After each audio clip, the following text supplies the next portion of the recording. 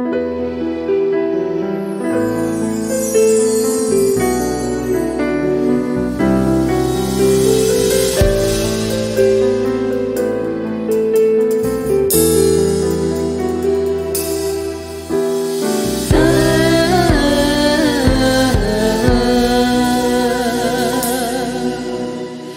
primera vez que Dios envió al profeta Elías, un mensaje liberó remanente de siete mil.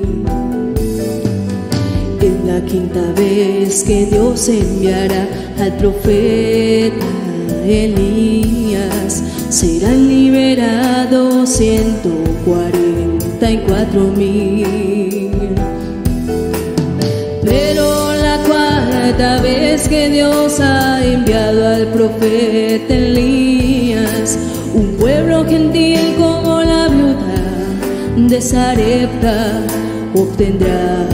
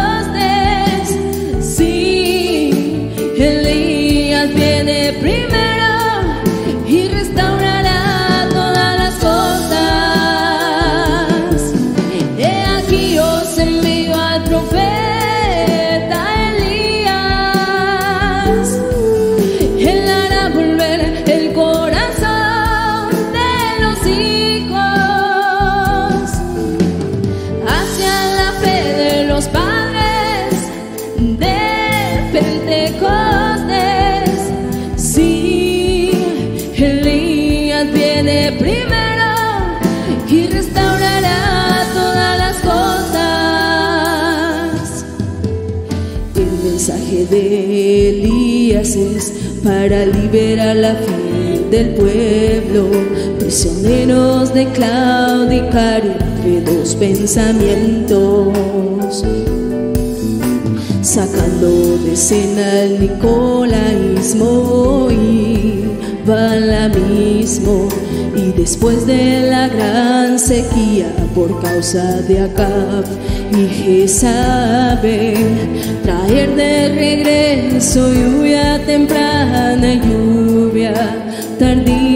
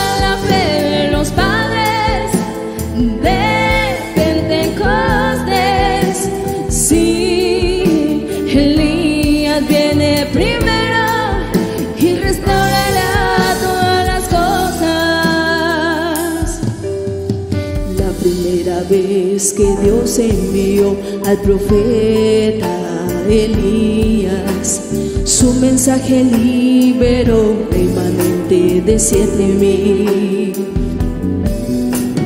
Es la quinta vez que Dios enviará al profeta Elías, serán liberados ciento cuarenta y cuatro mil. Vez que Dios ha enviado al profeta Elías, un pueblo gentil como la viuda de Sarepta obtendrá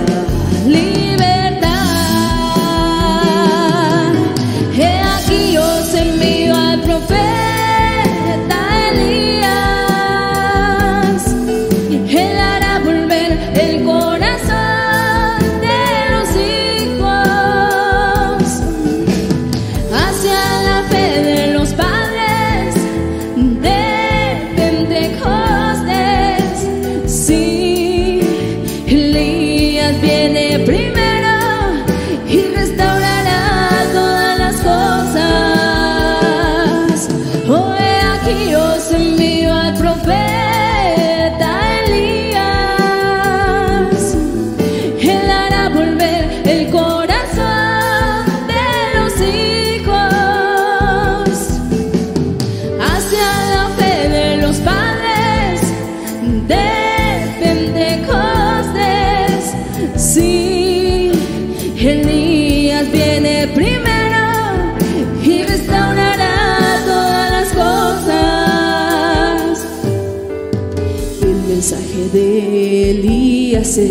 para liberar la fe del pueblo?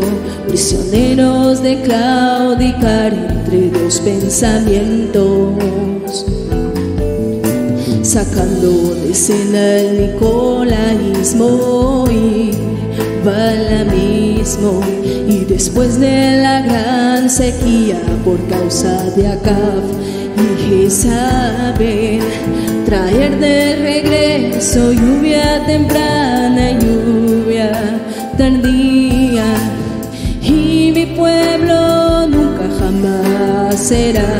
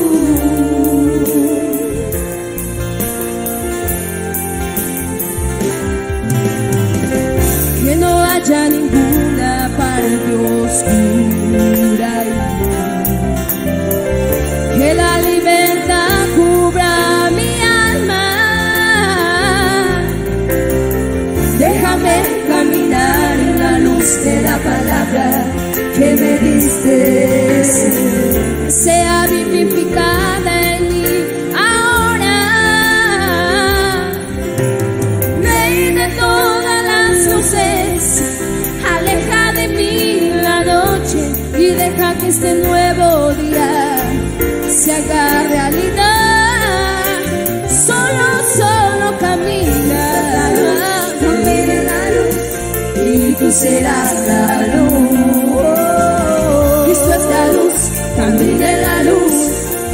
Tú serás la luz, Cristo es la luz, camina en la luz y tú serás la luz. Cristo es la luz, camina en la luz y tú serás la luz. Esa promesa para estos días que será veneno este. Levántate, resplandece, pues tu luz perdido. Levántate, resplandece, pues tu luz ya llegó.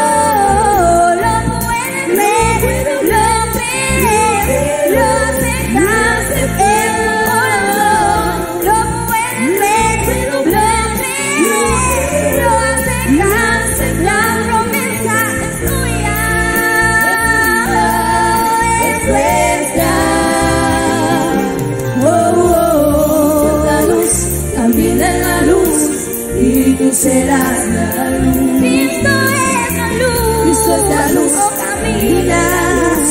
Y tú serás la luz. Cristo es, Cristo es la luz. Oh, camina en la luz. Y tú serás la luz. Oh, y tú serás la luz. Camina en la luz. Y tú serás la luz. Oh, Cristo es, Cristo es la luz. Camina en la luz y tú serás la luz.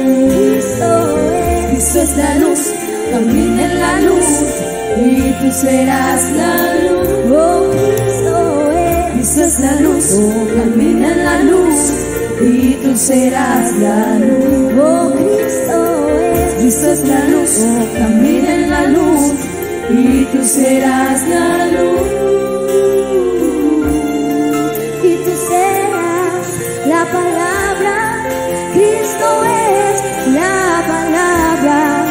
Oh, camina, camina. Oh, Cristo es la luz. Oh, camina.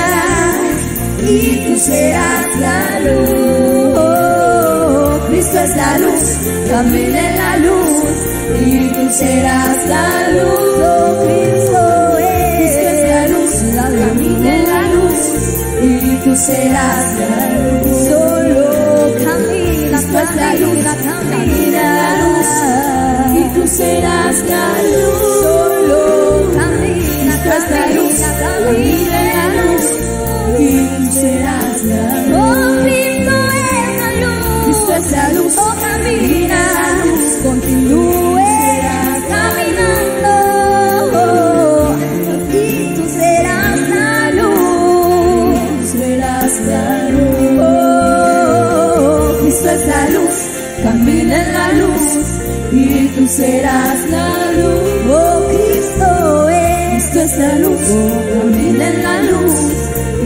tú serás la luz. oh, Cristo Cristo es, es la luz, en la luz y tú serás la luz. oh, Cristo es, Cristo es la luz, camina en la luz y tú serás la luz.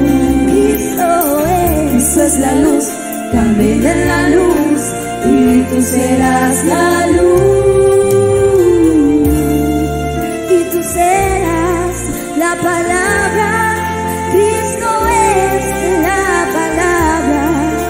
Camina, camina.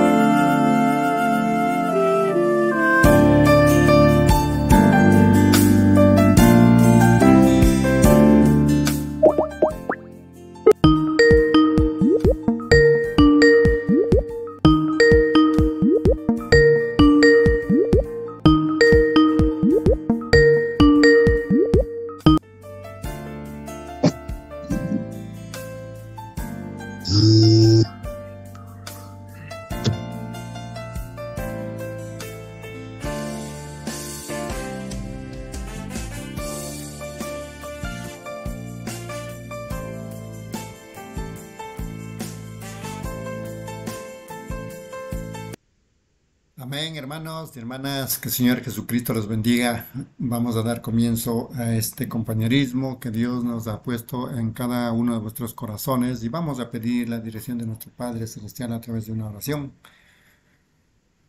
Padre nuestro que estás en los cielos, santificado sea tu nombre, venga tu reino, hágase tu voluntad como en el cielo, así también en la tierra. El pan nuestro de cada día, dánoslo hoy y perdónanos nuestras deudas, como también nosotros perdonamos a nuestros deudores. Y no nos metas en tentación, mas líbranos del mal, porque tuyo es el reino y el poder y la gloria por todos los siglos. Amén. Muchas gracias, Padre Eterno, por este glorioso tiempo y tu mensaje glorioso que ha mandado, tú has enviado, Señor. Nosotros no hemos decidido venir a existencia, Señor, Tú lo hiciste y nos enviaste a este mundo, Padre amado. Nadie ha querido venir a este mundo, pero tú enviaste a cada uno de vosotros, Señor, con la finalidad de hacer tu programa, cumplir tu promesa, Señor. Porque no hay coincidencia, Señor, de que hayamos venido a este mundo, ni hemos querido nosotros de por sí solo venir. No, Padre amado, tú tienes un, oh Padre amado, Tú tienes una razón, un motivo, una circunstancia, una causa, Señor, por la que nos enviaste, oh Padre amado.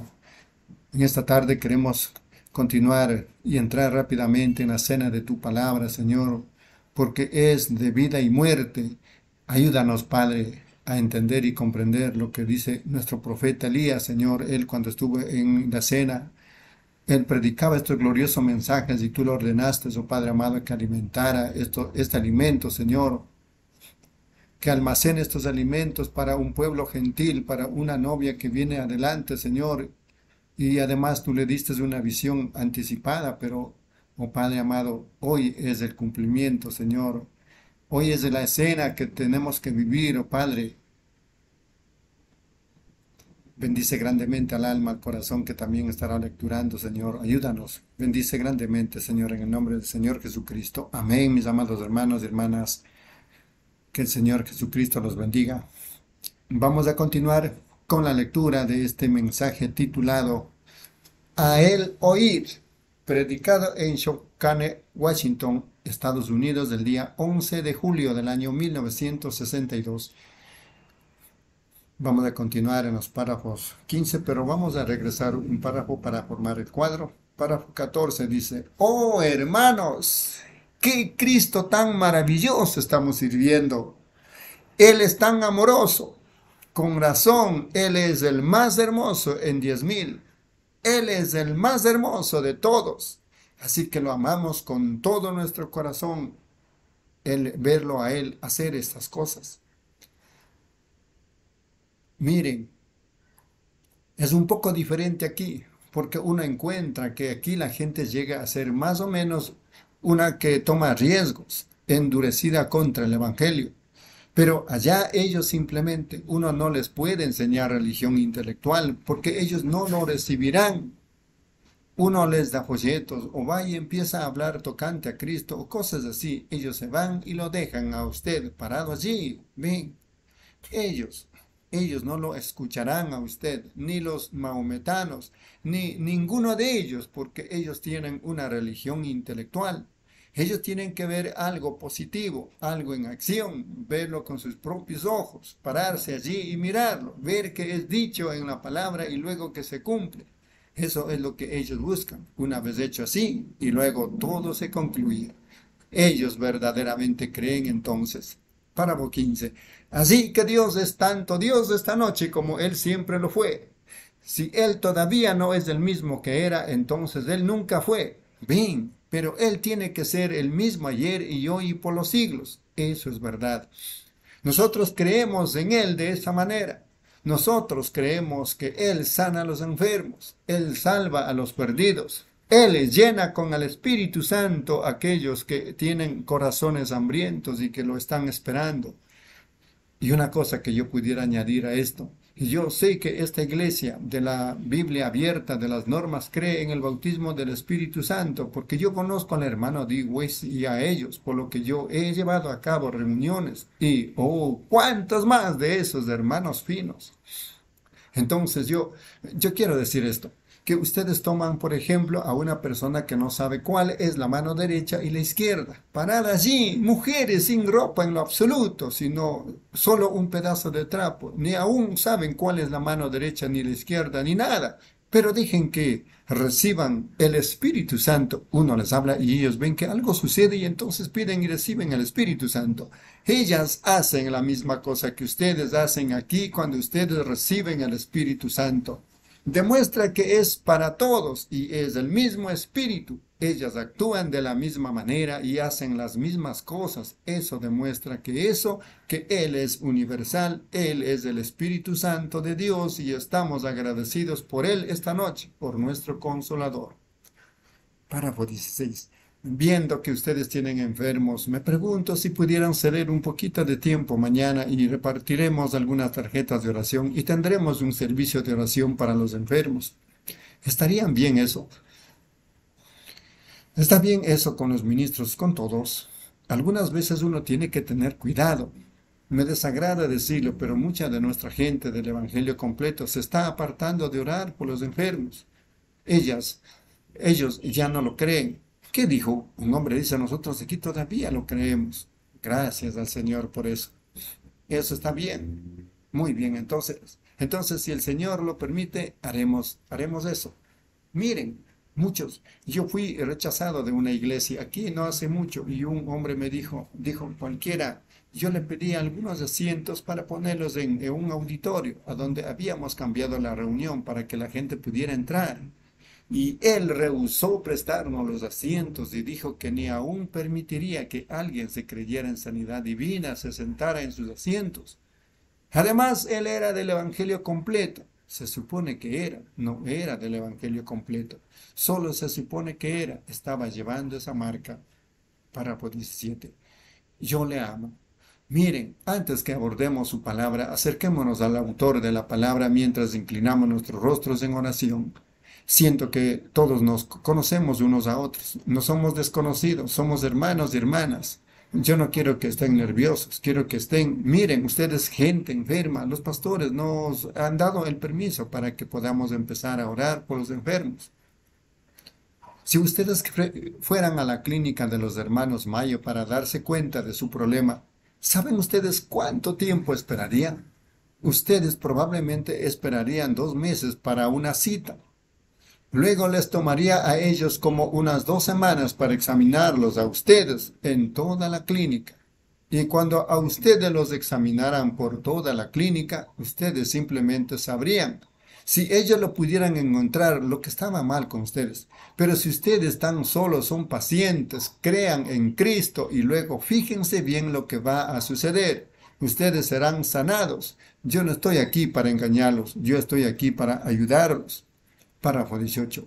Miren, todos aquí que tienen debajo de sus manos, mientras yo les pido que levanten. Si hay una petición para darle a conocer a Cristo, ¿levantarían ustedes su mano? A mí no me interesa lo que sea, solo levanten su mano, diciendo en su corazón, ahora Señor, yo tengo necesidad de sanidad, de salvación, yo tengo necesidad de lo que sea. Yo estoy seguro que Él ve todo alrededor. Miren, eso es. Oremos. Párrafo 19. Padre amoroso, Venimos a ti, el Dios Todopoderoso, el omnipresente, omnipotente, infinito, en el nombre todo suficiente de tu Hijo Jesucristo. Venimos porque Él nos dijo, todo lo que pidieres al Padre en mi nombre te será dado. Entonces no tenemos nada más por lo cual desearíamos abordar, porque el nombre de nuestra iglesia o de nombre organización, nuestro propio nombre o nuestra ciudad o nuestra raza o nacionalidad no le complacería a Dios en lo absoluto pero sí le complace a Él cuando venimos en el nombre de su Hijo. Así que nos estamos acercando a ti, Padre, y no deseamos que nos dirijas hacia el tribunal de juicio, sino hacia el tribunal de misericordia, pues tenemos necesidad de misericordia. Somos gente necesitada, Señor. Tú conoces nuestras necesidades. Tú sabes lo que estaba detrás de esa mano que se acaba de levantar por todo este edificio. Tú sabes lo que ellos necesitan. Yo veo a estos enfermos, algunos de ellos tan inválidos que casi no podían levantar su mano, pero la están tratando de levantar. Dios, yo estoy seguro que tú vistes eso, pues ni siquiera un pajarillo se pudiera caer en la calle, dijo Jesús, sin que el Padre lo sepa. Ahora, Dios, yo estoy pidiendo misericordia. Concede que a cada uno de esas manos que fue levantada antes que estos servicios se terminen este próximo fin de semana, que toda petición sea concedida, que la gente tenga paciencia. Recuerden, los que esperan en Jehová tendrán nuevas fuerzas, levantarán alas como las águilas. Pedimos por un avivamiento esta semana, Señor, el Espíritu Santo ardiendo en nuestros corazones Padre, desde el pastor y desde mi corazón, todos los que están conmigo y todo miembro de la iglesia y aún hasta los que están en los barrios bajos, que suceda, Señor, que esta semana veámoslo mucho más abundantemente. Que el Espíritu Santo nos honre en su presencia noche tras noche. Que veamos a esta gente, cada una que está en catres y camillas, cada una de ellas, noche tras noche, tomando su posición sentada ya atrás en el resto del pueblo sin tener ya que usarlos más. Concede, Señor, que todo pecador, obstinado, muchacho, muchacha, hombre, mujer, estén brillando con el Espíritu de Dios en el corazón de ellos antes que termine la reunión. Que la iglesita, Señor, crezca Y no únicamente esta, sino toda iglesia en la ciudad. Que venga un avivamiento chapado a la antigua. Que no únicamente sea una feria mundial en la ciudad hermana, sino que sea un avivamiento que sacuda al mundo. Eso es lo que anhelamos, Señor. Que sacuda los corazones de la gente, Señor. Que la traiga de nuevo a un conocimiento del Señor Jesús y a su misericordia y gracia para su pueblo. Ahora, Padre, nosotros no pediríamos esto a menos que tuviéramos fe para querer que se pudiera hacer. Y nosotros creemos que es, es completamente posible, Señor, y que es probable que Dios hará tal cosa por nosotros. Y estamos en expectativa por ello. Y ahora, Señor, ayuda y bendice a esta iglesia y a su pastor, a su directiva de síndicos, de diáconos y todo lo que esté asociado o afiliado con ella, todos sus miembros y todos los miembros visitantes y todos los pastores. Dios, no excluyas a ninguno de ellos, desde el más pequeño hasta el más grande, y que tengamos un avivamiento en, nuestros corazones, Señor, ardiendo con el fuego de Dios. Nosotros no sabemos cuánto más tiempo nos queda. Ciertamente parece muy dudoso que estemos aquí por mucho tiempo y ¡oh, qué glorioso pensamiento es saber que estos viejos cuerpos viles serán cambiados unos de estos días en un momento, en un abrir y cerrar de ojos y seremos arrebatados juntamente para recibir al Señor en el aire. Este día agobiante de enfermedad y este viejo lazareto terrestre de pecado, levantaremos alas como las águilas y volaremos uno de estos días. Y aún la misma muerte no impedirá este gran evento, pues sonará la trompeta de Dios y los muertos en Cristo se levantarán primero. Luego con ellos seremos arrebatados juntamente para encontrarnos con Él. Nosotros estamos aceptando, perdón, esperando la venida de ese gran día, Señor. Ayúdanos ahora. Que nos propongamos en, nuestros corazones esta noche estar delante del Señor, esperar en Él, Esperar momento tras momento, esperando con anticipación que se diga la palabra correcta o que se haga la cosa correcta que nos dará la fe apropiada que nos llevará a las bendiciones de Dios. Mientras seguimos esperando, Señor, leyendo la palabra, ayúdame, oh Dios, que sea profundamente sincero y ungido con el Espíritu. Bendice a todos los ministros para que ellos estén de la misma manera y toda la gente, porque se requiere a todos nosotros, Señor, como nos hemos congregado en tu nombre, esperando en tu nombre para que se cumplan estas bendiciones que nosotros hemos ahora pedido. Las ponemos sobre tu altar por medio del sacrificio del Señor Jesús con toda la fe que tenemos, que cada uno de nosotros ponga nuestras peticiones allí y pidiendo que ellas para que se cumplan en el nombre de Jesucristo. Amén. Párrafo 24 por último.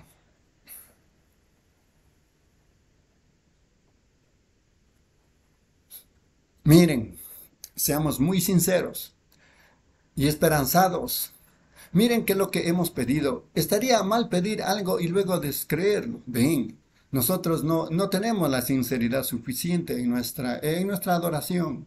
Debemos ser profundamente sinceros. Me pregunto, ¿pueden ustedes oír bien en el balcón? No únicamente, sí, allá atrás, yo veo sus manos, acaban de ser probados. Bueno, maravilloso. Eso está bien. Miren, no es mi intención gritar. Algunas veces estoy acostumbrado a hablar al aire libre y hablo un poquito alto, así que no es mi intención estar gritando. Amén. Amén, mis amados hermanos y hermanas. Que el Señor Jesucristo los bendiga en este nuevo compañerismo.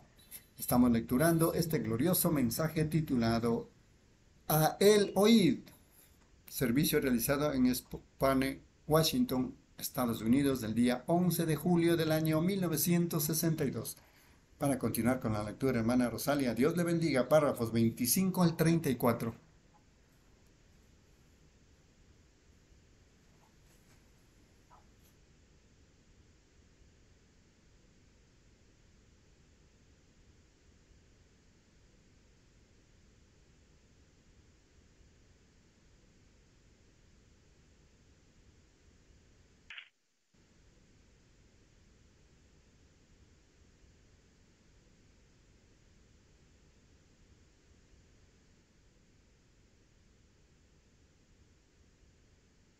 bendición, hermanos. ¿Me escuchan?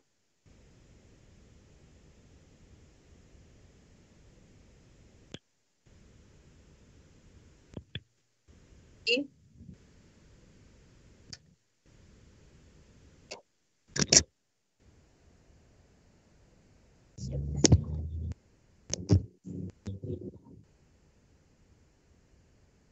Dios bendiga, hermanos y hermanos. Continuando con el mensaje a él oír.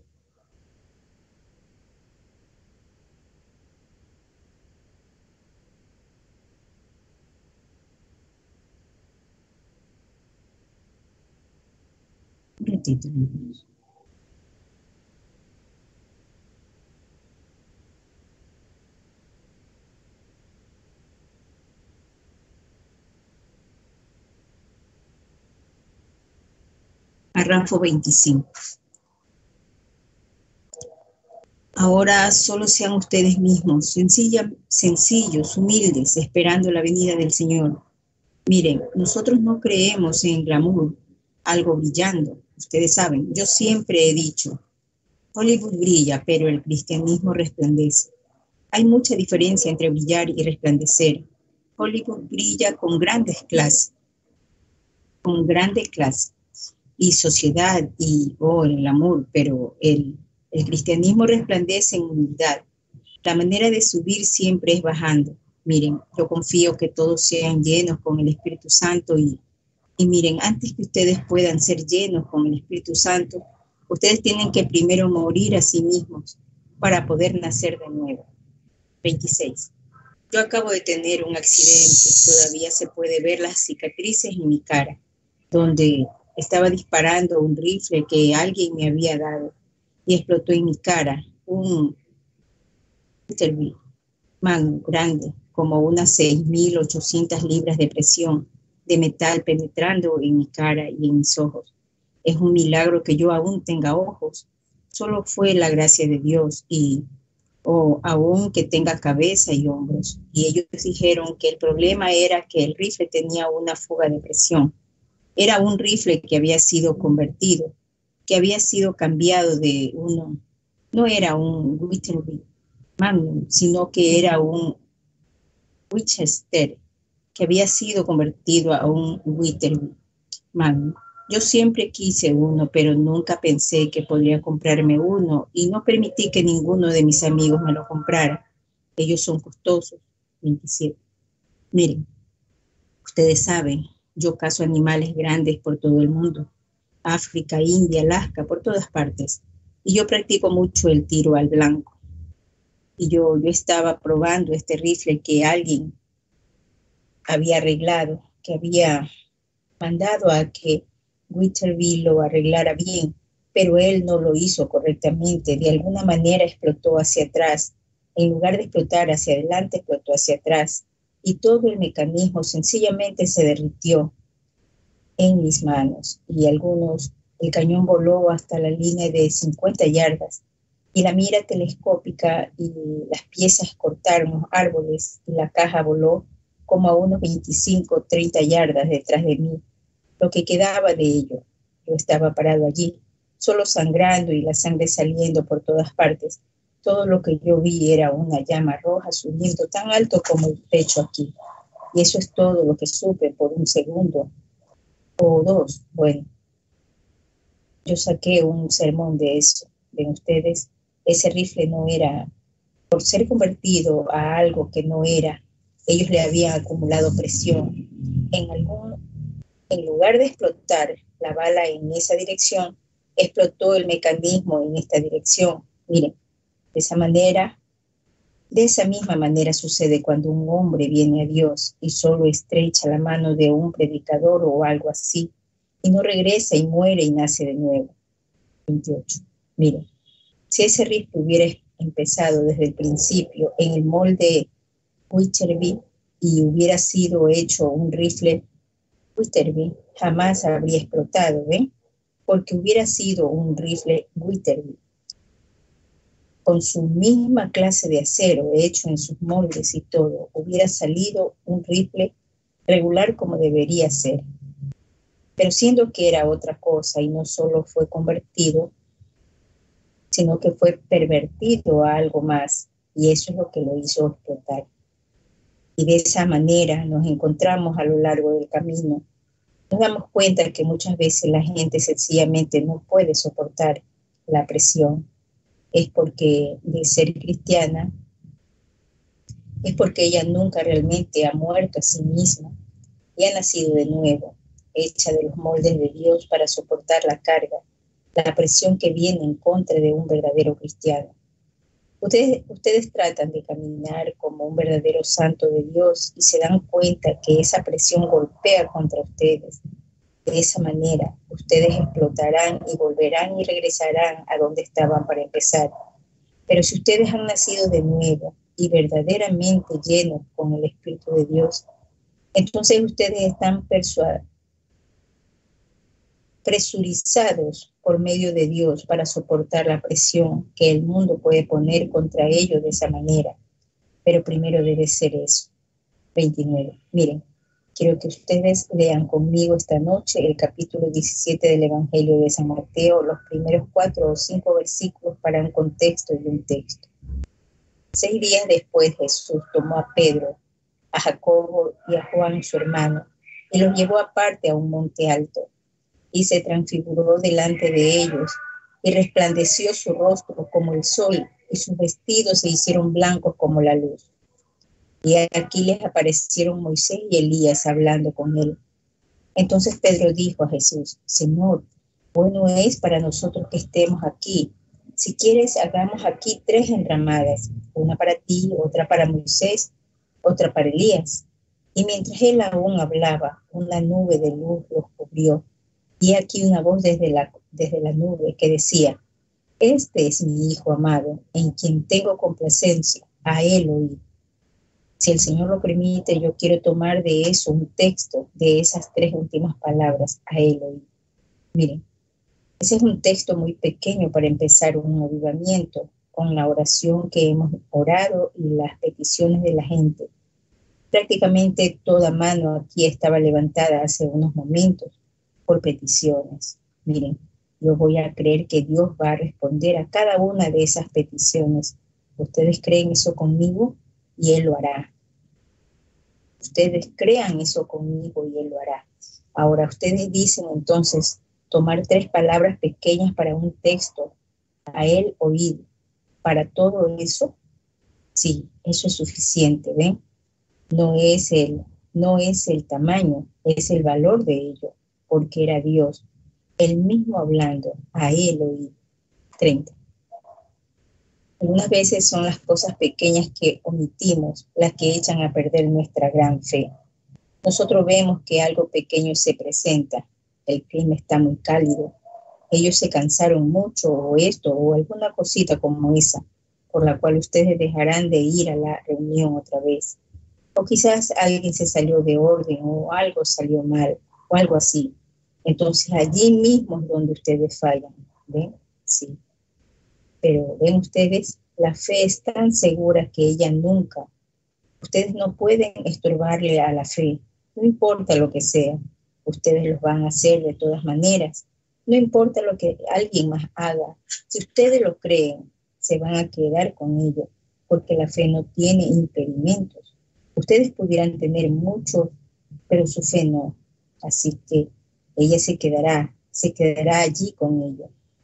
Miren, por ejemplo, hace algunos años, antes que eso era cuando el gran rey Jorge de Inglaterra estaba vivo, él visitó a Canadá, según dicen ellos, y dejaron salir todas las escuelas allá para el, para el evento, el rey de la, y la, de la reina.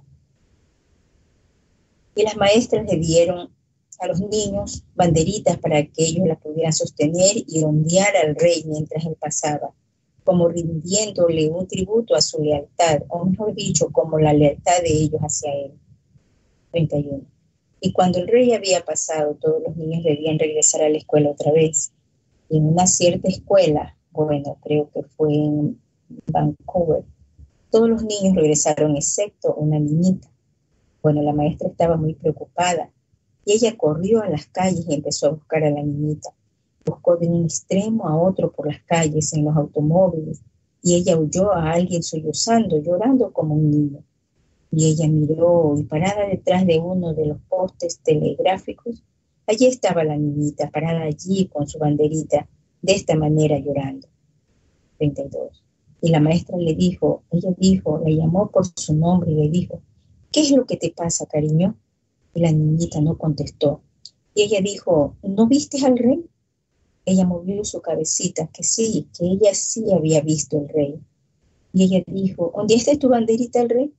Sí, ella sí pudo enviar la bandera, la bandera al rey. Bueno, entonces le dijo, ¿por qué estás llorando? Ella dijo, pero usted, yo soy tan pequeña, maestra. Ella dijo, yo vi al rey, pero el rey no me vio ondear mi banderita, pues yo soy demasiado pequeña. Eso pudiera ser así para el rey Jorge. Él quizás no vio a la niñita, pero hay una cosa con respecto al rey Jesús. A mí no me interesa cuán pequeño sea lo que ustedes hagan. Él lo verá, él siempre está listo, él observa cada pequeño movimiento que ustedes hacen y él los ama. 33. Miren, en esta ocasión Dios se está reuniendo con su pueblo Ahora, muchas veces Dios se reúne en las esferas de congregaciones grandes. Él se reúne con congregaciones pequeñas. En una ocasión, Él se reunió con 500. En otra ocasión, Él se reunió con 70, con 12, con 3 y aún con uno solo. No importa cuán pequeña sea la congregación, Dios siempre se reunirá con ustedes cuando tengan una necesidad y crean que Él estará allí. Jesús dijo, donde estén dos o más congregados en mi nombre, allí estaré yo en medio de ellos. Miren, esa es su promesa.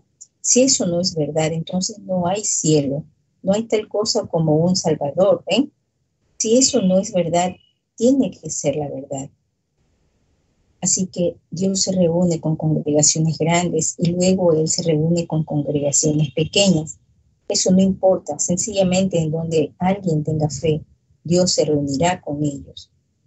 34. Miren, en esta ocasión iba a ser una gran ocasión. Así que Dios por lo general llama a la gente. Cuando Él tiene algo grande que decirle, Él llama a su pueblo para que se reúna. Quizás solo sean dos, quizás sean cinco, quizás sea un millar, pero Él los reúne cuando Él tiene algo muy, algo que Él tiene que decirle a su iglesia. Ahora, en esta ocasión, ha de haber sido muy grande, pues Pedro, años después, él lo llamó el Monte Santo. Ahora, yo no creo que él verdaderamente quiso decir que el monte era santo. No es un monte santo, era el Dios santo en el monte santo. No es la iglesia santa como nosotros la llamamos, la iglesia santa o la gente santa. Es el Espíritu Santo en la gente, el Espíritu Santo en la iglesia, no una iglesia santa sino el Espíritu Santo en la iglesia. Es lo que hace, es lo que la hace santa, porque Él es el que es santo. Amén, hermanos, Dios les bendiga.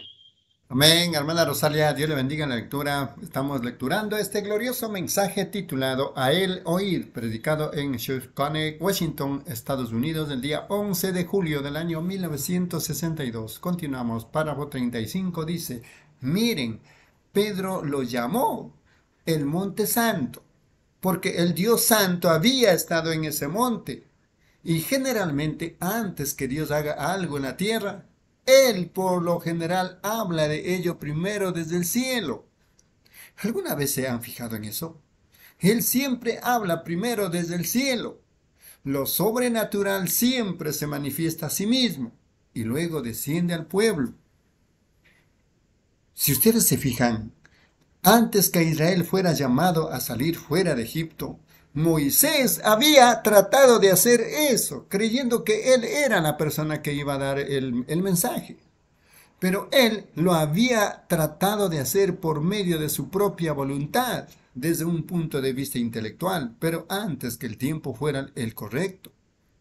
Pero cuando el tiempo fue el correcto, hubo un visitante que descendió del cielo. Era Dios mismo, él vino al azar sardiendo y le habló a Moisés antes de enviarlo. Yo creo que todo hombre, antes que salga al campo para predicar el Evangelio, debería primero tener una experiencia con Dios antes que salga. Porque en este día intelectual, como la Biblia nos dice que vendría este día, porque habrá hombres impetuosos, infatuados, amadores de los deleites más que de Dios que tendrán apariencia de piedad, pero negarán la eficacia de ella. 36. Y ellos tienen gigantes intelectuales en el mundo hoy en día que casi pueden refutar todo lo que Dios dijo que es verdad. Ellos lo pueden tomar desde un punto de vista teológico, intelectual. Y si ustedes toman su propia mente de pensar, razonar como Eva lo hizo en el principio, entonces ellos les pueden refutar a ustedes todo lo de la Biblia. Pero si un hombre o mujer o una mujer ha estado alguna vez en la parte de atrás del desierto, en esas arenas sagradas donde ningún intelectual se puede parar, y allí entrar en contacto con el Dios viviente, entonces ningún demonio, ningún científico, ni nadie más puede jamás quitar eso por medio de explicaciones. Ustedes estuvieran allí, sucedió, ustedes saben que es la verdad. No hay nadie que se lo pueda quitar a ustedes. Ustedes se encontraron con Dios. Y yo creo que Dios en cada edad, al enviar un mensajero, siempre primero se encuentra con esa persona en un terreno sagrado, porque tiene que ser así. Hay tanta maldad que trata de refutar todo lo sobrenatural. Y donde hay un Dios sobrenatural va a haber cosas sobrenaturales sucediendo, porque Él es sobrenatural. Párrafo 37. Miren, Dios primero le habló a Moisés antes que sucediera la cosa sobrenatural de sus milagros. Y también Dios le habló a Juan el Bautista antes de la venida de Cristo. Siempre, dijo, el que me dijo en el desierto, sobre quien veas al Espíritu descender y permanecer sobre él, él es el que bautizará con el Espíritu Santo y fuego. Bien. Ahora, Juan de hecho provenía de una familia de un sacerdote. Su padre, Zacarías, era un sacerdote y él murió cuando Juan era solo un muchachito. En lugar de Juan fuera y siguiera la misma línea de pensamientos ministeriales que su padre tenía, pero el trabajo era muy importante. Él sencillamente no lo podía hacer de esa manera. Él tenía que ir al desierto y esperar allí hasta oír primero de parte de Dios, porque él iba a ser el que presentaría al Mesías. Y en aquellos días ellos habían tenido toda clase de señales para un Mesías. Ellos habían tenido esto, aquello o lo otro, y esto será. 38. Sin duda que los fariseos habían ido y dicho, nosotros tenemos al doctor Jones aquí, él es uno de los hombres más finos. Yo sé que él tiene que ser el Mesías. Ese es porque él es un hombre tan talentoso, él cae muy bien entre el pueblo y se viste tan bien y lo demás, cada uno hubiera tenido un hombre. Así que, pero cuando Dios se prepara para hacer algo, Él llama a alguien a un lado primero y primero habla desde el cielo. Entonces ellos saben exactamente de lo que están hablando. Ellos no tienen que temer nada, ni tomar nada de las ideas de nadie. Ellos exactamente lo que se requiere y van y lo consiguen. Ese es el mensaje de Dios. Siempre habla primero. Amén. Párrafo 39. Y allí Dios iba a hacer algo grande porque Él se estaba llevando a Pedro, Jacob y a Juan. Miren, eso es, yo los llamaría esperanza, fe y caridad. Los tres dones grandes de Dios. Por ejemplo, Tomen a Pedro para fe y a Jacobo para esperanza y Juan siempre es amor, lo cual es caridad. Y se lleva a fe, esperanza y caridad con él y sube al monte porque él está a punto de hacer algo. Él va a hacer una expresión y él quiere que sea confirmada. Y él siempre la confirma con tres testigos, con dos o tres testigos. Esa era una declaración del Antiguo Testamento. Por boca de dos o tres testigos conste toda palabra. Y él sube al monte, llamando a estos tres hombres, tres dones sobresalientes de la gente que estaba con él, y los lleva arriba del monte. Y luego él tiene tres seres celestiales. Debe ser algo que va a suceder. Él tiene tres de los testigos terrenales y tres testigos celestiales. Ahí está Moisés, Elías y Jesús, transfigurado, transformado. Y allí estaba Pedro, Jacobo y Juan, lo terrenal y lo celestial, todos reuniéndose allí ahora. Amén. Párrafo 40. Y miren, Moisés y Elías, y luego Jesús fue glorificado delante de ellos, y su vestido resplandeció como el sol. Miren, ¿qué estaba tratando él de hacer allí? Nos damos cuenta que ellos subieron y encontraron que una nube lo cubrió a él. Su vestido fue cambiado, el vestido que traía puesto, y resplandeció como el sol en su resplandor, perdón, en su esplendor. Y una nube estaba sobre él, y una voz diciendo, Este es mi Hijo amado, en quien tengo complacencia, a él oír. Ahora, en mi opinión, lo que él estaba haciendo, Dios nunca le pidió a nadie que hiciera algo que él mismo lo haga. Esa es la razón que yo creo en la deidad de nuestro Señor Jesucristo, que Él era más que un hombre, Él era, Él era más que un profeta, sin embargo, Él era un profeta, sin embargo, Él era un hombre, pero Él era más que eso, Él era Emanuel, Él era Dios manifestado en carne. Yo creo eso, amén. Eso es exactamente lo que Él era. Porque si hubiera sido cualquier hombre o profeta o una persona ordinaria que hubiera nacido como nosotros nacimos, entonces todavía estamos en nuestros pecados. Pero ven, él nació de un nacimiento virginal. Nadie tuvo que ver con ello sino Dios mismo. El Dios, el Creador, le hizo sombra a la Virgen María. Creó en ella una célula de sangre. 41. Miren, todos nosotros sabemos que, la vida proviene del sexo masculino. Igual que una gallina puede poner un huevo, pero si ella no ha estado con el ave macho, nunca empollará. No es fértil. Así que el sexo masculino era Dios y era una, una creación que Dios. Ahora, ustedes gente católica preciosa aquí, no para herir sus sentimientos, pero cuando ustedes dicen María, la Madre de Dios, bueno, ¿quién era el Padre de Dios si esa era su madre? Ven, ella no es la madre de Dios. Ella fue una incubadora que Dios usó. Dios usó a María. Ella no es una intercesora. Ella es, y ella no es una mediadora, ella es una mujer a la cual Dios, el Padre, le hizo sombra y en su poder creativo, sin ningún deseo sexual en lo absoluto, creó en ella el germen de que formó al Hijo de Dios. Por lo tanto, él no era ni judío ni gentil, él era Dios. Párrafo 42. Alguien dijo que nosotros fuimos salvados por medio de sangre judía. Si es así, entonces eso tuvo que ser un asunto sexual. Así que si Él, Él es la sangre de Dios, una sangre creada que Dios, Él mismo estaba envuelto en un bebito. Y Él era Jehová, Dios manifestado en la carne. Miren, no solo era un, un profeta. Alguna gente dice, oh, Él es un buen hombre. Una pequeña, pequeña historia. Hace un tiempo una mujer me dijo, ella dijo, Señor Branham, ella dijo, me gustaría oírlo a usted. Dijo, pero solo hay una cosa que tengo en contra de usted. Yo dije, sí, solo es una gracia del Señor. Yo dije, estoy contento por eso. Por lo general es casi todo. Yo, dije, ¿y usted dice que solo tiene una cosa? Dígame, hermana. Ella permanecía a una, pertenecía a una iglesia que no cree en la deidad de Cristo. Ellos creen que él era un buen hombre, un maestro, y ellos creen en sanidad divina y lo demás, pero ellos, ellos no creen que él era Dios. Y ella dijo, usted alardea demasiado a Jesús, de Jesús. Párrafo 43. Yo dije, oh, qué cosa. Si ese es el pecado más pequeño que yo tengo, yo dije, entonces yo ciertamente voy a entrar. Dije, yo, yo alardeo demasiado de Jesús. Yo dije, hermana, si yo fuera 50 personas en esta sola, yo no pudiera alardear lo suficiente de él si yo alardeara día y noche, yo no pudiera decir lo suficiente favor de él, no importa lo que yo dijera, todavía es más que eso. La mitad todavía no se ha contado, después de dos mil años de tratar de contarlo. Yo dije, la mitad todavía no se ha contado. ¿Qué pudiera usted ella dijo, bueno, usted dice que cree la Biblia. Yo dije, sí, la creo.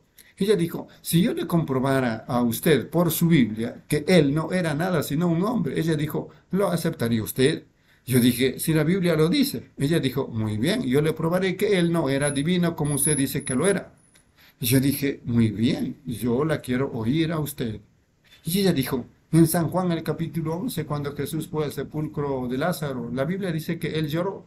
Y dijo, él no pudiera ser divino y llorar. Párrafo 44 por último. Y yo le hice una pequeña declaración ruda a ella. Espero que ustedes no piensen que es sacrílega, pero yo le dije a ella, dije, señora, ¿es esa su escritura? Ella dijo, allí es donde estoy parada. Y yo dije, eso está más aguado que el caldo de hecho de una sombra de una gallina que se murió de hambre. Y yo dije, bueno, usted nunca, eso es, pues usted no dice en serio una cosa como esa. Pues yo dije, él era ambos, Dios y hombre. Cuando él iba en camino hacia el sepulcro de Lázaro, él lloró. Eso es verdad.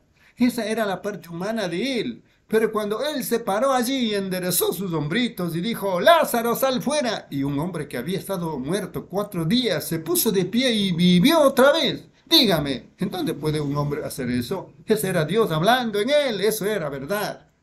Amén, mis amados hermanos y hermanas, glorioso mensaje, glorioso tiempo que vivimos. Estamos lecturando este glorioso mensaje titulado A Él Oír, predicado en Spokane, Washington, Estados Unidos, del día 11 de julio del año 1962. Continuamos.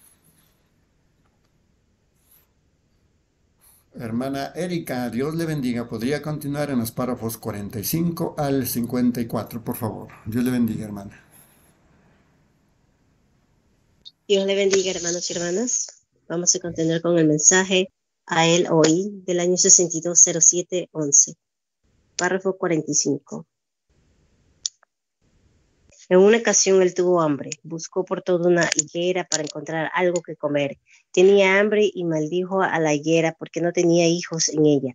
Pero cuando él tomó cinco panes y dos pececitos y alimentó cinco mil y recogieron cinco canastas llenas ese era más que un hombre, ese era Dios en ese hombre. Oh, sí, ese era un hombre esa noche en el mar, cuando él había predicado hasta que su boca estaba reseca y su cuerpo estaba cansado. Y diez mil demonios del mar juraron que lo ahogarían esa noche en esa pequeña barca, zarandeada de un lado a otro, como un corcho de botella allí en una tormenta. Ese era un hombre acostado allí dormido, pero cuando lo despertaron y él puso sus pies sobre la varadilla de la barca, miró hacia arriba y dijo, calla, emudecé. Y los vientos y las olas le obedecieron. Ese era más que un hombre, ese era Dios, ciertamente que lo era. 46. Era un hombre que clamó en la cruz por misericordia, tengo sed, denme de beber. Era un hombre clamando allí, pero al tercer día cuando él tomó las llaves de la muerte, infierno y el sepulcro y rompió todo sello romano y, resucitó, pues seguro, con razón dijo el poeta, viviendo él me amó, muriendo él me salvó, sepultado él llevó mis pecados muy lejos, resucitando él me justificó gratuitamente para siempre. Algún día él viene, oh gloria, glorioso, glorioso día, perdón. Correcto, él era divino, Emanuel, eso es lo que Él es, eso es lo que es, Él es esta noche, el mismo ayer y hoy por los siglos. Si Él no es el mismo esta noche, entonces Él no era en aquel entonces. Eso es correcto. Él es esta noche, así como lo era en aquel entonces. Siempre será el mismo. Sí, miren, ahí estaba Él. Dios estaba manifestando, mostrándole a Pedro, Jacobo y a Juan lo que él había requerido de Israel. 47. Miren, nosotros encontramos en el Antiguo Testamento y también los libros del Nuevo Testamento, en Gálatas y, los de, como Pablo lo explicó, él estaba posicionando a un hijo, así como en el Antiguo, Antiguo Testamento. Miren, cuando un padre tenía un gran reino, ustedes se fijan en, dice, dice aquí también la Biblia, en Mateo el capítulo 24, creo que es, o mejor dicho, no, es San Juan el capítulo 14, yo tomaré ese. Otra interpretación del inglés de ellos dice, en la casa de mi padre muchas mansiones hay. ¿No suena algo extraño para nosotros hoy en día? En la casa de mi padre muchas mansiones hay. Mansiones en una casita, muchas mansiones en una casa. Miren, ¿ven ustedes? Eso es, miren, los traductores que tradujeron eso para el, para el rey, ¿ven? En aquellos días un rey era llamado una casa y el padre era el rey sobre la casa. Y en el reino de mi padre hay muchas mansiones. Es la manera correcta, la manera hebrea de interpretarlo. 48. Ahora, Moffat lo tradujo peor que eso. En la casa de apartamento de mi padre hay muchos apartamentos, como si vamos allá para... Eso demuestra lo que una mente carnal puede hacer con la palabra de Dios. Eso es correcto. Yo estuve allí no hace mucho en Atenas, Grecia, y vi el cuadro pintado de lo que ellos llaman Adán y Eva. Esa Eva era la cosa más horrible que yo había visto en mi vida. Y Adán parecía como un gigante prehistórico, pues eso demuestra cuál es la concepción carnal de lo que es la creación original de Dios. Se requiere el Espíritu de Dios para revelar las cosas y la palabra de Dios es revelada únicamente por medio de su Espíritu. Eso es correcto. Está escondido de los ojos de los sabios y de los entendidos y es revelado a los niños que quieren aprender. 49. Así, ahí Dios estaba parado. Miren, Él estaba haciendo exactamente lo que les pidió que hicieran. Miren, en una gran heredad que tenía un padre, él tenía muchos hombres contratados trabajando para él. Ahora, esta es una pequeña enseñanza que yo espero que no, no lastime, pero solo quiero hacer un punto para fundamentar, fundamentar la, bien la fe para que cuando empecemos, empecemos con la mayor diligencia posible. Fíjense bien. Miren, cuando nacía un hijo varón en esta familia de este padre, él nacía sin un hijo, pero sin embargo él no tenía herencia, sino solo era un hijo. Miren, ahí es donde yo pienso que nosotros, gente del Evangelio completo, bajamos la guardia un poquito en nuestras doctrinas, ¿ven? Nosotros tomamos una persona, decimos, bueno, miren, él está lleno con el Espíritu Santo, él habla en lengua, eso lo concluye. No, ustedes únicamente han empezado, ustedes solo han nacido dentro de la familia, eso es todo. Esa es la razón que hoy en día nosotros, nuestras iglesias, no están progresando de la manera que ellas deberían estar progresando. 50. Pienso que después de este gran avivamiento que ha abarcado el mundo en estos últimos años, yo pienso que los santos de Dios deberían estar en lo celestial en todas partes y el poder de Dios yendo a los hospitales y a los demás lugares, sucediendo grandes señales y prodigios y milagros pero Él no puede conseguir que la gente se quede quieta el tiempo suficiente. Si nosotros sembramos semillas denominaciones, denominacionales, cosecharemos una cosecha denominacional. Eso es exactamente, eso es lo que hemos hecho. Si ustedes se fijan bien esa palabra ahí en el hebreo, lluvia temprana y tardía, lluvia temprana significa una lluvia de siembra y luego cuando el espíritu cae, cae sobre el justo y el injusto. Si nosotros hemos sembrado semillas denominacionales, nosotros solo cosechamos la cosecha de, denominacional. Eso es lo que hemos hecho. Los bautistas tomaron un millón más en el 44 y es difícil saber lo que ellos son ahora después que han recorrido el gran evangelio, evangelista Billy Graham y muchos de ellos. Miren a nuestro pentecostal por medio de Oral Robert y Tommy Osborne y grandes hombres como esos. 51. Bueno, ¿qué hemos hecho? Nosotros hemos añadido miembros, tenemos mejores iglesias, membresías más grandes. Lo que necesitamos nosotros es calidad, no cantidad. Ese es el problema. Esa es la búsqueda de la novia hoy en día. Eliezer tuvo un tiempo difícil encontrando, encontrando calidad y luego prepararla para irse. Era la cosa siguiente después que la encontró. Así que esa esa es la siguiente cosa por hacer. Nosotros estamos buscando esa hora.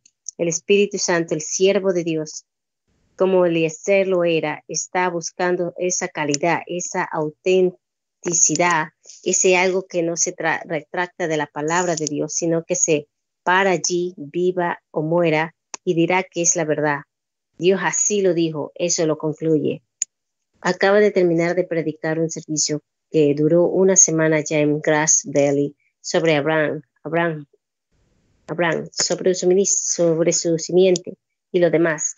Cómo esa simiente real genuina de Abraham se aferra a esa palabra, sin importar cuán ridículo suene o algo más. Él se queda allí con ella porque él es la simiente de Abraham. Eso es correcto. 52.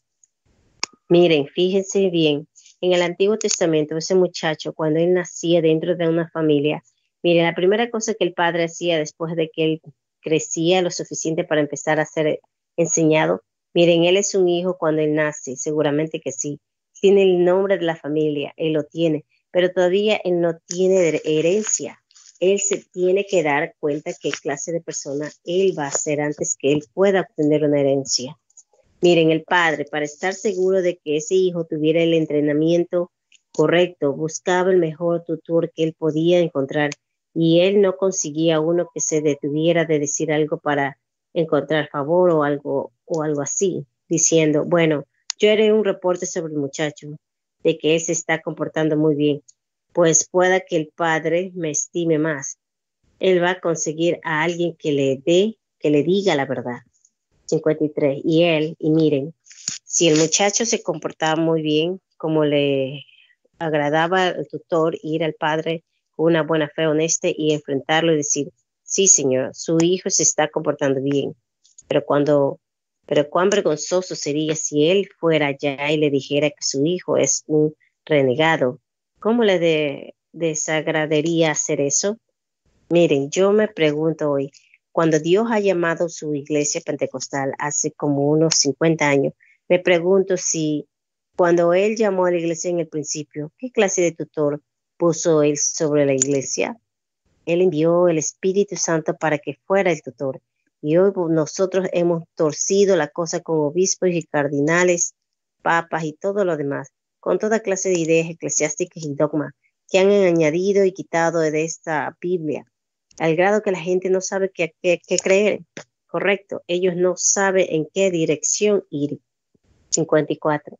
La pobre gente es como un montón de ovejas que no tienen pastor, un montón de gansos sin líder. Eso es correcto. Ellos no saben en qué dirección volar. Todo es así, se ha ido en cualquier dirección. Este dice, es de esta manera, y este dice, es de esta manera.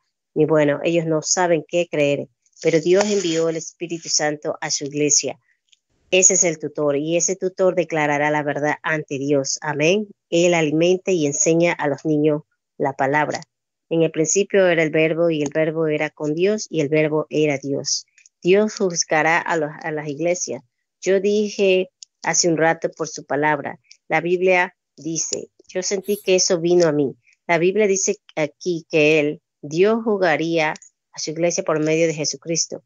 Eso es correcto. Y Jesús es la palabra, así que es la palabra manifestada. Si Cristo aún sigue siendo Cristo, Él toma esa palabra y la manifiesta. Amén. Ahí lo tienen. Es la palabra viviendo entre nosotros, viniendo a vida. Dios le bendiga, hermanos y hermanas. Amén, hermana Rica, Dios le bendiga la lectura. Continuamos, mensaje a él, oíd, predicado en Cali, Washington, Estados Unidos del día 11 de julio del año 1962. A continuación, hermana Rosalia, por favor, en los párrafos 55 al 64. Amén, hermano. Continuando con el mensaje a Eloí, párrafo 55. Miren, este tutor, ¿qué si ese muchacho era terrible, si no estaba en los negocios del padre? Hacía todo lo que quería, ¿Cómo se avergonzaría ese tutor de ir ante el Padre y decir, Señor, me, desagrada decirte a usted, decirle a usted, pero su hijo no se está portando muy bien. imagino que él, que que él se sonrojaría, voltearía su rostro. ¿Qué piensan ustedes que hace el Espíritu Santo hoy en día cuando Él sube ante Dios, nuestro Padre, con un reporte de la iglesia de que nosotros nos hemos dividido en 900 diferentes organizaciones. No tenemos compañerismo unas con otras y todas tienen esto y aquello y lo otro. Nadie. Solo quieren hacer más miembros, metiendo más de esto y aquello. Me imagino que él voltea su cabeza. Párrafo 56. Yo pudiera decir algo aquí que les ardiera, quizás lo lastime, pero ustedes saben, esta es una casa de corrección, ¿lo creen? Estoy contento que ustedes dijeron eso, eso quiere decir así sea. ¿Qué piensan ustedes que haría Dios hoy en día cuando el Espíritu Santo viene y le dice a Él que en nuestras iglesias nosotros hemos aceptado dogmas en lugar de su palabra? ¿Qué piensan ustedes cuando aceptamos credos en lugar de Cristo? ¿Qué piensan ustedes que él hace cuando nuestro, cuando él sube y dice que todas sus hijas se han cortado su cabello, están usando pantaloncitos cortos y fumando cigarrillos? Eso es, la Biblia dice que los tales no pueden entrar, el descreer. Ustedes dicen, eso no tiene ninguna importancia. No permitan que el diablo les diga eso. si Dios lo dijo así. Pablo dijo en Gálatas 1.8, si un ángel del cielo os anunciara otro evangelio diferente del que os hemos anunciado, sea anatema. ¿Por qué tenía tanta importancia? Aún la cosa pequeña de la esposa de Lot volteando, mirando sobre su hombro, y se convirtió en una estatua de sal. 57. Ustedes tienen que tomar la palabra. Hay un descuido en alguna parte. Ustedes tienen que regresar al Evangelio, regresar a Cristo, regresar a la palabra viviente. No pasarla por alto con alguna cosa que pase por aquí. Ustedes lo tienen que creer. ¿Qué si Él dijera, ellos ya no creen más en sanidad? Tu llaga fue en vano para ellos, porque ellos dicen que los días de los milagros ya pasaron o el tal, él tal vez se sonroja cuando tiene que decir eso delante del Padre, ¿sí? ¿Ven? Ellos no, ellos no lo creen, ellos se están apartando de ello día tras día, apostando más y más. Ustedes, ustedes saben eso. Ustedes no tienen que pensar al respecto. Alguna de ustedes, gente anciana, han estado en esto más tiempo que lo que yo he estado. Miren al pasado hace unos cuantos años, como era reuniones de oración toda la noche. 58. ¿Qué hacen ustedes en la noche? Despiden el miércoles en la noche, quizás a las 6 o a las 7. Quizás ustedes ni siquiera asisten a la reunión de oración. Ustedes quieren ir a ver algún programa sucio de la televisión de una mujer casada cuatro o cinco veces con un hombre, o un hombre casado cuatro o cinco veces, Luego dicen que aman a Dios, faltando a las reuniones de oración. Eso es correcto. Miran, amamos a Sus o a Elvis Presley o a alguno de esos tipos que vendieron sus primogenituras por un plato de lentejas. Elvis Presley era un muchacho pentecostal, envió almas, envió más almas al infierno que Judas alguna vez hubiera enviado, seguro, porque está capturando a estas jovencitas y ellas dicen, bueno, él es muy religioso. No crean ustedes tal cosa como esa. ¿Religioso? Satanás lo es también, también lo era Caín. No crean eso. Son solo las obras del diablo para llevarlos a ustedes, jóvenes allá a esos pisos, con todo ese boogie boogie y, todas esas tonterías, bailes y toda clase de cosas allí, viviendo vulgarmente, medias vestidas.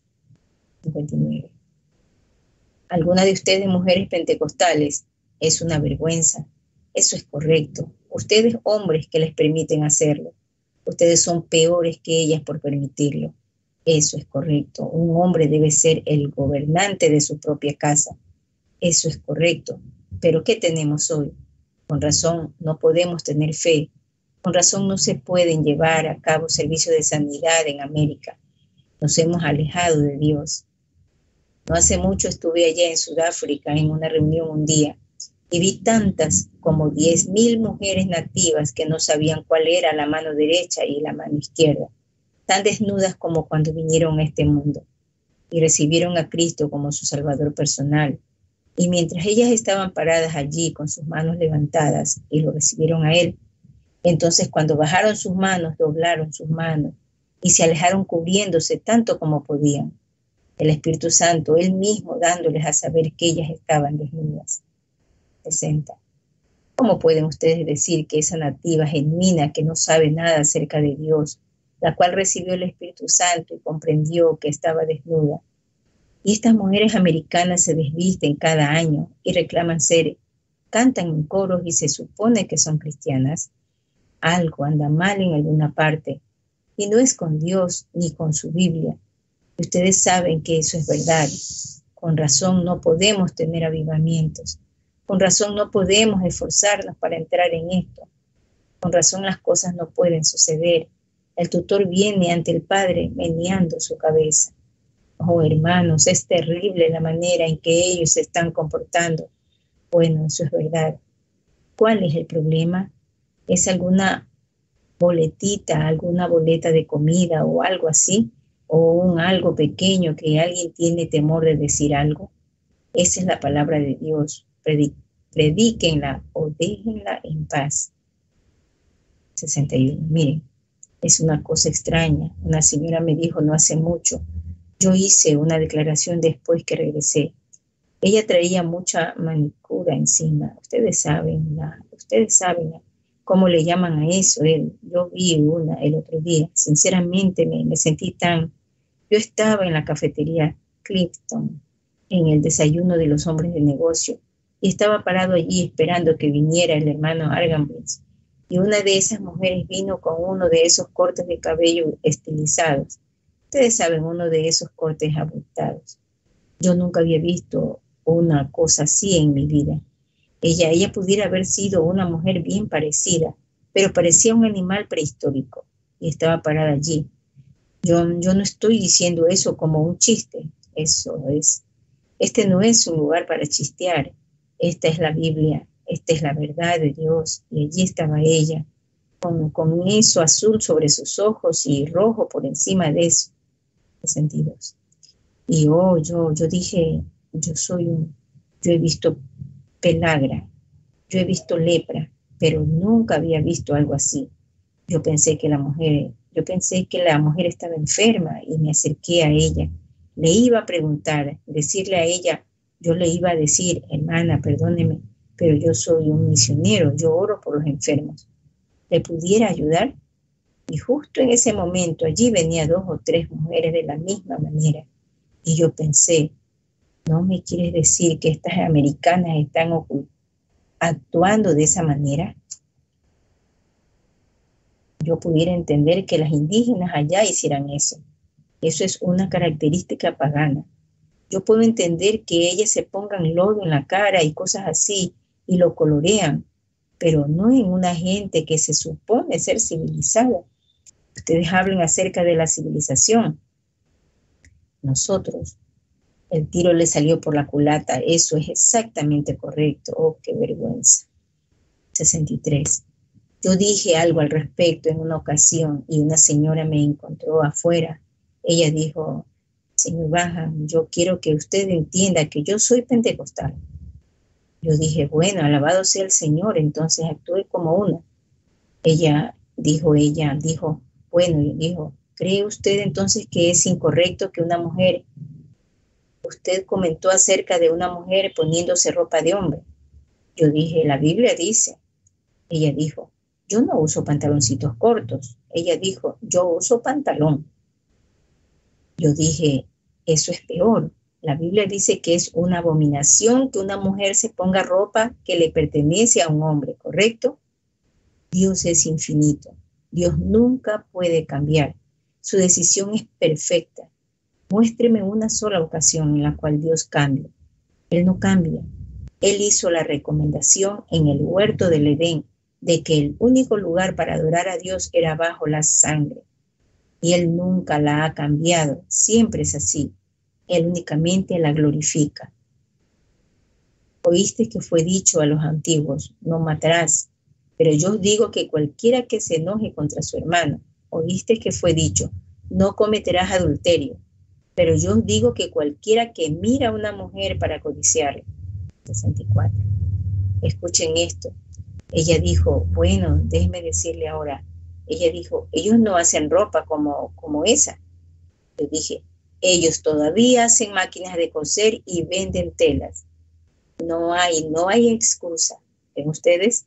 Solo.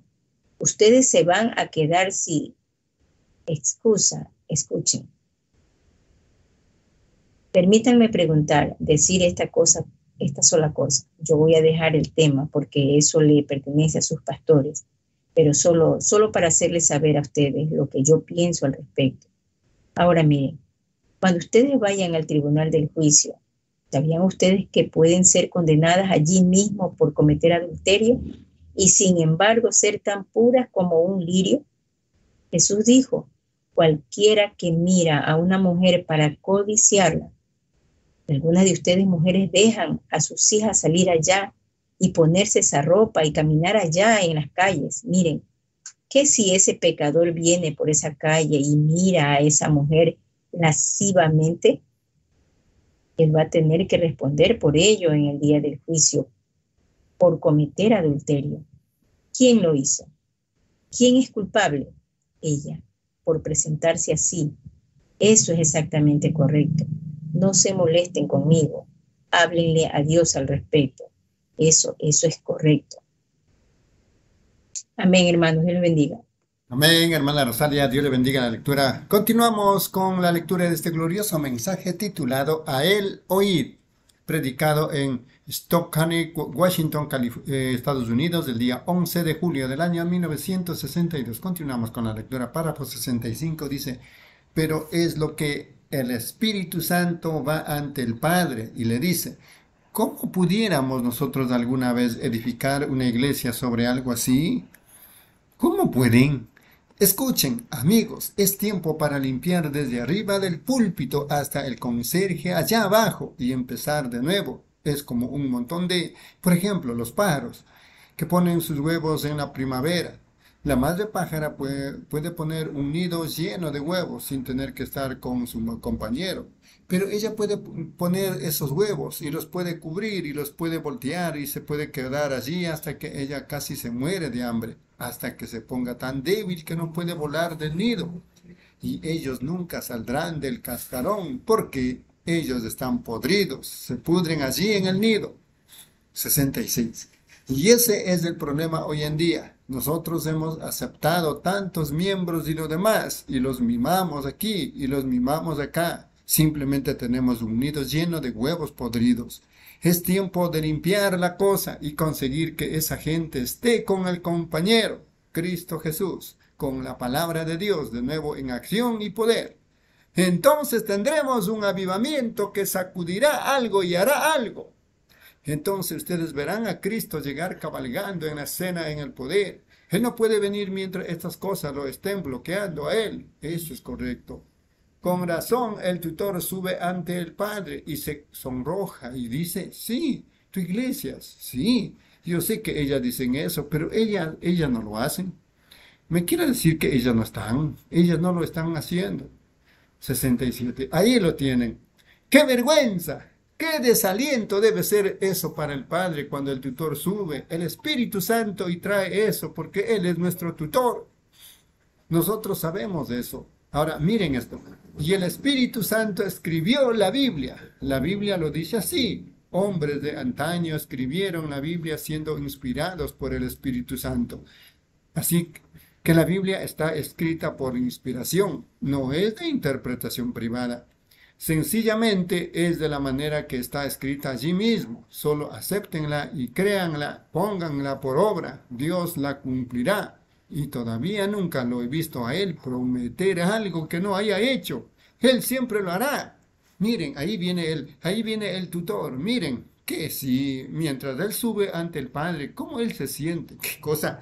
Se acerca y dice, oh, tu hijo está progresando. Él es de tal palo, tal astilla, como decimos en el sur. Él es exactamente como tú. Él está tan interesado en todos los enfermos y afligidos. Él está tan interesado en la salvación del pueblo. Él está tan interesado en todo esto. Él cree toda palabra que tú dijiste. ¿Sabes qué? Él está dirigiendo a la iglesia exactamente como tú la dirigirías si tú estuvieras allí. ¿Sabes la manera que tu hijo lo dirige? dirigía? Como él estuvo allí. Sí, de esa manera él lo está haciendo. Y tú sabes, tú habías escrito allí él es el mismo ayer y hoy y por los siglos. ¿Sí? Bueno, eso es exactamente lo que ellos están haciendo. Oh, hermanos, miren cómo el Padre ha de decir, ese es mi hijo, ese es mi hijo. 68. Esa es la razón que aquí él se podía sonreír. Jesús había cumplido toda palabra de ella. Eso es. Él había cumplido exactamente según la palabra. Miren, porque él era su ese hijo perfecto y Él es el mismo, y Él murió para llegar a ser la vid, para que nosotros pudiéramos llegar a ser el pámpano, para que Él nos pudiera dar energía en su vida, para hacer que viviera en nosotros la misma vida que Él tenía. Entonces haremos la misma cosa.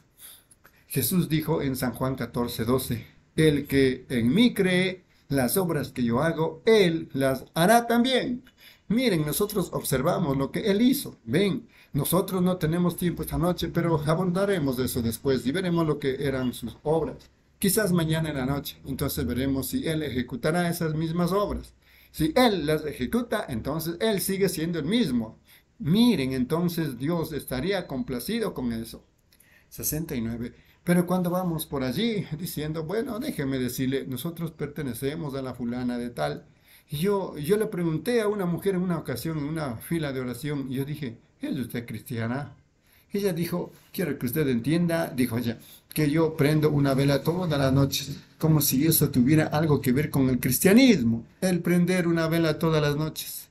Yo dije, bueno, eso no es más que enlodar cerdos todas las noches. Ven, yo dije, eso no significaría ni una pizca más para mí. Yo dije, ¿ha nacido de nuevo? ¿Conoce usted a Cristo como su Salvador? ¿Ha llegado a Él a ser una verdadera realidad en usted? ¿Está usted viviendo en Cristo? ¿Está Cristo viviendo en usted? En aquel día vosotros conoceréis que yo estoy en el Padre, el Padre en mí, vosotros, y yo en vosotros. Eso es Dios viviendo entre su pueblo. Esa es la manera. Entonces nos damos cuenta en este día, los 70. Miren, nosotros tomamos, si ese hijo había sido un buen hijo, él era exactamente, miren, recuerden, él había nacido siendo un hijo pero año tras año él progresaba. Él estaba constantemente en los negocios del padre. Él hacía el trabajo exactamente de la manera que el padre lo hacía. Como el tutor decía, oh, eso es maravilloso, le decía al padre. Bueno, es exactamente de la manera que tú lo dirigirías si tú estuvieras allí. Él reprendió esto y él condenó esto. Él le dio a esto un lugar y él hizo esto exactamente de la manera que tú lo haces, sin ninguna diferencia, sino exactamente. Es como si tú estuvieras allí, estuviera en Él, seguro, porque uno de seguro puede saber que Él es un hijo de Dios, porque Él nació de ti, ven, Él hace la misma cosa, se puede, se queda firme con tu palabra, nunca pierde una palabra, se queda en ella, sigue adelante con ella. Oh, el Padre ha de decir, eso es maravilloso, párrafo 71. Y entonces llegaba un día, si este hijo continuaba así, llegaba un día que ellos llamaban el posicionamiento de un hijo. Entonces el padre llamaba a un grupo de gente para que reuniera en la ciudad. Él tomaba a su propio hijo y lo vestía en un manto hermoso y lo sentaba en lo alto para que todos pudieran ver. Llevaba a cabo una ceremonia. Y él adoptaba a su propio hijo que había nacido en su hogar o lo posicionaba y cuando él lo hacía, el nombre de ese hijo era tan válido como el nombre del padre en la chequera o en donde quiera. Su firma en aquellos días era un sello, un anillo, porque muchos de ellos no sabían escribir. Era una ofensa penal copiar ese sello. Y ellos lo tenían en la parte de atrás del anillo y lo estampaban de esta manera. Y él podía usar el anillo de su padre, porque su nombre era tan válido como lo era el del padre. Miren, eso es lo que Dios está tratando de llevar a su iglesia, a un lugar donde somos hijos e hijas de Dios. Ven, pero son nosotros, nosotros estamos perturbados, estamos dejando que todo. Y miren, el, el mundo está tratando de sofocarlo a cosa real. Está tratando de hacer que la gente le tenga miedo al comunismo. No le tengan miedo al comunismo. Eso no es nada. El comunismo 72. Quiero preguntarle algo a ustedes, estudiantes de la Biblia. Yo quiero que alguien me dé una escritura en donde quiera que diga que el comunismo gobernará el mundo. Pues el comunismo simplemente es algo que está obrando en las manos de Dios. Si ustedes leen la Biblia para quemar la ramera, perseguirla, el comunismo no gobernará al mundo. Y ustedes lo ven ahorita en la Casa Blanca y empezando. Oh, ustedes pobres demócratas, sigan adelante. Muy bien, muy bien, vendiendo sus primogenituras por un plato de política. No callaré en eso, pero esperen. De todas maneras, volvamos a esto, a la colocación del hijo. Cuando el padre colocaba a ese hijo posicionalmente, entonces todo lo que él hacía era aceptado por el padre, pues él tenía su sello. Miren, allí es donde la iglesia debería estar hoy en día, después de ver a Dios, de ver su poder. La iglesia debería estar en posición de salir y decir, en el nombre del Señor Jesucristo, usar el nombre de Padre y verlo cumplirse. Así dice el Señor. Amén. Párrafo 73. Miren, Jesús cuando Él estuvo aquí en la tierra, Él dijo, yo no hago nada hasta que el Padre me muestre. San Juan 5, 19. Deberíamos estar en una posición tal que el Padre nos, nos mostrara algo y que lo observáramos suceder perfectamente cada vez, así de rápido, ven. Igual que allí está, eso es cuando un hijo ha sido posicionado. Allí es donde deberíamos estar, estar colocados posicionalmente en Cristo. ¡Oh, qué momento sería! ¿Cómo la, le falta a la iglesia? ¿Cómo hemos tomado los grandes avivamientos y hemos enfatizado sobre eso, en lugar de traerlo espiritualmente a la gente como verdaderos hijos e hijas de Dios, llenos con el espíritu ardiendo en nuestros corazones día y noche? Párrafo 74 por último. Recuerden, la Biblia dice que el Espíritu Santo únicamente selló a aquellos que gemían y clamaban a causa de las abominaciones que se hacían en la ciudad. Me gustaría llamar a un lado a su pastor llamar a un lado a los otros pastores allí. ¿Tienen ustedes cuántos miembros de su iglesia se postran en sus rostros y claman toda la noche, todo el día por las abominaciones que se hacen en la ciudad? Allí, ven, todo el celo se ha ido. Nosotros hemos, hasta que hemos obtenido una iglesia hermosa, hemos obtenido un edificio maravilloso. Eso está bien, no hay nada que decir contra eso. Una fina organización, no tengo una palabra contra eso. Eso está bien. Yo no tengo nada en contra de eso. Pero lo que estoy tratando de decir es que ustedes están excluyendo la cosa principal. Ustedes están excluyendo la cosa principal. El Cristo de esta iglesia. El Cristo en esta organización. El Cristo que ustedes están mirando la organización, mirando la iglesia en vez de mirar a Cristo. Y Cristo es la palabra y la palabra es segura. Amén. Aleluya. Amén, mis amados hermanos y hermanas. Continuamos con la lectura de este glorioso mensaje titulado A él oíd, predicado en Spokane, Washington, Estados Unidos, del día 11 de julio del año 1962. A continuación, hermana Erika, por favor, en los párrafos 75 al 84.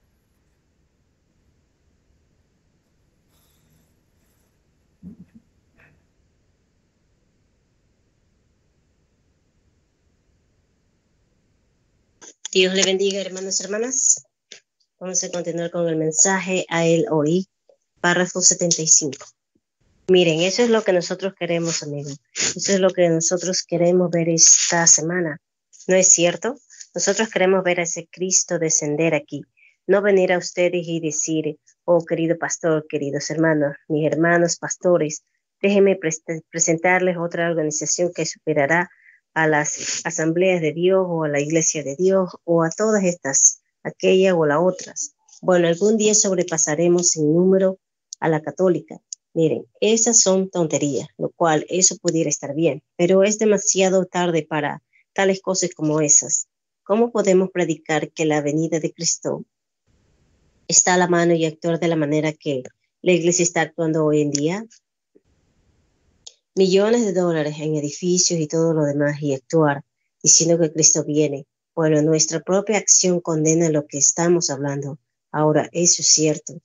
No hay intención ser rudo, amigos, pero presentémoslos aquí. Miremos, miremos eso. Esa es la razón. Tenemos que regresar a esta palabra. Tenemos que regresar al Dios de la palabra. Y la palabra es Dios. ¿Ven? 76. Miren, Jesús había sido examinado, examinado y probado, y todo hijo que viene a Dios debe ser disciplinado y probado. Si él no puede soportar la disciplina, entonces él llega a ser un hijo bastardo y no el hijo de Dios, el hijo de Dios. Eso es correcto. Ahora miren aquí en, en nuestra, mire aquí, a los enfermos y a los afligidos. Yo no digo que los pastores dicen eso, sino quizás sea la gente. Ellos dicen, bueno, quizás pecaron ellos, eso yo no lo sé, eso depende de Dios. Pero en una ocasión un hombre, él dijo, ¿quién pecó? ¿Este o su madre o su padre? Repito, ¿quién pecó? ¿Este o su padre o su madre? Dijo ninguno, sino que, sino para que las obras de Dios se manifiesten. 77. ¿No sería agradable ver uno de estos catres y sillas de ruedas vacías aquí en las siguientes dos o tres noches? ¿No sería eso glorioso? Entonces la manifestación de Dios estaría aquí. ¿No sería maravilloso ver al Espíritu de Dios venir y que brote un avivamiento entre nosotros al grado que sería un lloro constante todo el día y noche y la reunión ni siquiera se terminara, sino que siguiera toda la noche y todo el día? La gente ni siquiera deseara algo, ni siquiera le diera hambre, sino solo permaneciera aquí, sencillamente festejando en la bondad de Dios. Los periódicos estarían escribiendo al respecto en todas partes así, y la gente viniendo de la feria mundial para ver qué clase de feria Dios estaba llevando a cabo. Eso es correcto. Viniendo desde serle spoken. Eso puede suceder. Permiten que Dios venga en medio de nosotros. 78. Mire, encontramos que Dios, tengo que terminar ahora con esto. Dios estaba parado allí y fíjense bien que Él llevó a su propio hijo allá arriba. Después, recuerden, Él fue directamente al Calvario después, de, eh, después allí. Él llevó a su propio hijo allá arriba. ¿Y qué hizo? Él lo mostró a Él en su venida. Él lo estaba glorificando. Allí estaba Él parado y su vestido resplandeció como el sol. En otras palabras, Dios dijo, yo he, yo he sido el padre de ustedes a través de esta edad, pero ahora la única manera de acercarse a mí de aquí en adelante es por medio de Él. Este es mi hijo amado. ¿Ven lo que Él está haciendo? La adopción, el, el posicionamiento. ¿Ven? Este es mi hijo amado. A Él oí. Miren, Pedro, él se puso todo emocionado cuando vio la sobrenatural. Ese es el problema hoy en día. Ellos ven lo sobrenatural y todos se ponen emocionados. Eso es lo que empezó la primerísima cosa, cuando la bendición pentecostal empezó a caer sobre la gente pentecostal hace años. Me imagino que yo ni siquiera había nacido en ese entonces, pero yo he leído sus libros y el Espíritu Santo cayó sobre ellos y Dios empezó a restaurar de nuevo a la iglesia los dones de hablar en lengua, entonces todos se emocionaron y uno dijo, Él va a venir en un caballo blanco, va a venir en una nube blanca. Bueno, nosotros formaremos nuestra propia organización. 79. Entonces ellos consiguieron gente y tomaron, aceptaron de todo en la iglesia y solo, en lugar de solo dejar, dejarlo en paz. Israel no tenía la menor idea cuando ellos habían visto a Dios aparecer allí ellos pensaron que el milenio estaba aconteciendo para ellos. Ellos habían visto a Dios herir a esos egipcios y ahogarlos en el mar rojo y ejecutar toda clase de señales y parados allí sobre esa orilla. Y María con ese pandero, tocándolo y gritando, saltando, Moisés cantando en el espíritu, pues ellos no estaban sino como a tres días de la tierra gloriosa. Ellos no sabían que todavía tenían 40 años por delante ni tampoco los pentecostales supieron eso cuando el Espíritu Santo primero cayó sobre ellos. Pero ven ustedes, en donde ellos cometieron su error imprudente fue en Éxodo 19, cuando ellos se apartaron de la gracia que Dios ya les había provisto para ellos, dándole un profeta y una columna de fuego y un sacrificio y haciendo señales y prodigios. La gracia había provisto eso, pero ellos querían hacer algo por sí mismos ellos tenían que tener algo para hacerse ellos mismos doctores de, perdón, divinidad. Así que ellos quisieron una ley. Allí fue donde ellos murieron y se quedaron allí hasta que murieron todos los antiguos contenciosos. Eso es correcto. Entonces vino Dios y tomó un grupo nuevo y cruzó al otro lado del Jordán con ellos. 80. Los pentecostales se han quedado en el desierto hoy en día las mismas cosas, vagando alrededor y alrededor del mismo monte. ¿Pensaron ustedes alguna vez que, hicieron ellos? Casaron a los jóvenes, enterraron a los viejos, besaron a los bebés, cultivaron cosechas y prosperaron. Y eso está bien, pero hermano, hay una tierra prometida más allá, donde todo es posible para el que cree. Cada promesa en el libro de, le pertenece a la iglesia. Cristo es la palabra que entra en el corazón de una persona y manifiesta esa palabra, ¿ven? Nosotros solo estamos más satisfechos. Bueno, yo hablé en lengua, eso, eso está bien, ¿ve? Hermano Branja, yo lo tengo y actuando de la manera que usted actúa, yo, yo lo dudo. Por sus frutos los conoceréis. Ustedes saben, el agua cae sobre el trigo y sobre, los, sobre las cizañas también. Por sus frutos ellos son conocidos ahora. Nosotros vemos eso. 81. Miren, eso es lo que necesitamos, un avivamiento. Nosotros necesitamos un, un simplemente una reunión eclesiástica, sino un avivamiento. No se pongan nerviosos. Eso fue la alarma de mi reloj. Y yo, diciéndome que yo, estando en una iglesia por primera vez, generalmente yo no predico muy largo, como unas seis horas, pero en esta ocasión tenía la alarma puesta y tenía el reloj enfrente de mí. Así que está bien, yo tengo una pequeña alarma en el reloj de que por lo general me avisa que es tiempo de terminar. Así que entonces hay mucho que decir, hay mucho que hacer. Tienen un grupo amable de gente aquí. ¿Por qué no podemos nosotros tenerlo? ¿Por qué no puede Cristo ser el mismo para nosotros? ¿Por qué no puede Él sanar a los enfermos? Los acaba de hacer. La otra noche en Grass Valley, yo vi toda silla de rueda, todo lo que estaba allí, estar completamente vacío, sin haber una sola persona enferma entre nosotros. Salieron de allí caminando, sin una sola persona enferma. Eso es correcto. Ellos se quedaron quietos escuchando hasta que lo captaron. Y luego cuando lo captaron, allí sucedió y no hubo una sola persona enferma entre ellos. Era como cuatro o cinco veces más el tamaño de este grupo, muchas veces más grande, en un auditorio grande. Así que entonces, miren, fíjense bien, se puede hacer, pero ven ustedes, ustedes tienen que tener paciencia tienen que estar dispuestos y tienen que tener a Cristo, miren, esperen hasta lo último, hasta la última hora. 82. Pedro se emocionó y todo dijo, hagamos, hagamos. Ustedes saben, lo sobrenatural por lo general emociona a la gente, ustedes saben. Israel se emocionó allá, en lugar de venir bajo la expiación. Hubo un, un grupito incircunciso que salió con ellos, una gran multitud de toda clase de gente. La Biblia se la llama ella causó problema un poquito después. Lo, sobrenatural había sido hecho y había una multitud mixta que salió con ellos. Esa es la misma cosa que ha sucedido con este avivamiento. Medio creyentes, únicamente hay tres clases de, de gente en este mundo. Esos son creyentes, manufacturados e incrédulos, y ellos están en todo grupo. Así es como los encuentra uno, eso es. Así que entonces nosotros observemos, allí estaba, 83. Miren, Pedro quiso, rápidamente él quiso una franquicia en esto. Dijo, empecemos tres denominaciones de esto. Edificaremos una enramada aquí para ti, y edificaremos una para Moisés y edificaremos una para Elías. Tendremos, tendremos, empezaremos aquí con tres para empezar. Miren, oh, qué cosa. Estoy contento que, que eso no se llevó a cabo porque yo no querría venir a Moisés. Moisés representaba la ley y la ley no tiene poder a Salvador. La ley únicamente los puede meter a ustedes en la cárcel, no los puede sacar. La ley no tiene gracia en ella. No, Señor. La ley fue un ayo y la ley únicamente nos condena. La ley nos, nos mostraba, nos mostraba que éramos pecadores, pero no tenía gracia en ella. 84.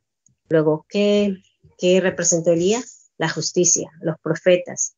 Dios mío, nosotros no queremos su justicia. Si yo recibiera justicia, yo estaría muerto y todos nosotros estaríamos muertos. Nosotros no queremos justicia.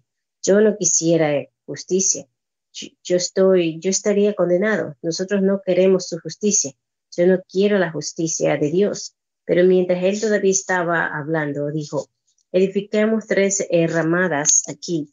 Mientras él todavía estaba hablando, estoy muy contento que Dios lo interrumpió Sí, Señor. Él dijo, este es mi hijo amado, a él oí. A él no le importa cuántas denominaciones ustedes empiecen, cuántas de estas ustedes empiecen, cuántas de estas ustedes empiecen. Este es mi hijo amado, a él oí. ¿Qué tiene él para mí? Él tiene gracia, él tiene perdón, él tiene sanidad, él tiene salvación. Así que esta noche yo no vengo como una organización, yo vengo para sentarme con mis hermanos, con cada uno de ellos. Yo los amo a cada uno, a todas las organizaciones, pero yo vengo para presentar a una sola persona, a ustedes, el amado Hijo de Dios, Jesucristo. Óiganlo a Él, inclinemos nuestros rostros por un momento ahora. Dios le bendiga, hermanos y hermanas. Amén, hermana Erika, Dios le bendiga la lectura. Continuamos, mensaje a él oír, predicado en Spokane, Washington, Estados Unidos, el día 11 de julio del año 1962. A continuación, hermana Rosalia, por favor, en los párrafos 85 al 93. Amén, hermanos. Continuando con el mensaje a oír, párrafo 85. ¿Creen ustedes esta noche con todo su corazón? no solo imaginarlo, no aceptarlo por medio de un credo, sino aceptarlo debido a que ustedes en lo profundo de su corazón y alma, ustedes saben que Él es el Hijo de Dios. ¿Lo creen ustedes? Dios les bendiga. Me pregunto ahora, ¿cuántos hay aquí y en el balcón que no son cristianos y les gustaría venir a oír a Cristo? A Él oír. Esas tres palabritas, a Él oír. Si ustedes lo oyen a Él, su vida será cambiada esta noche. Y ustedes que están descarriados, que en una ocasión lo conocieron y se apartaron de Él, a Él oír. Ustedes, sin el Espíritu Santo y saben que tienen que tener esa simiente germinada o no brotará. Ustedes agricultores saben eso. Si esa simiente no está germinada, no importa cuán bien se vea, no vivirá. No importa cuán usted pueda imitar la vida de un cristiano al vivir una buena vida.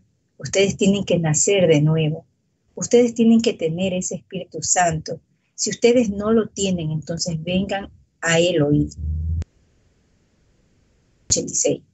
Y ustedes gente enferma aquí, algunos con problemas de corazón, algunos en sillas de ruedas, algunos van a morir de inmediato si Dios no hace algo por ustedes.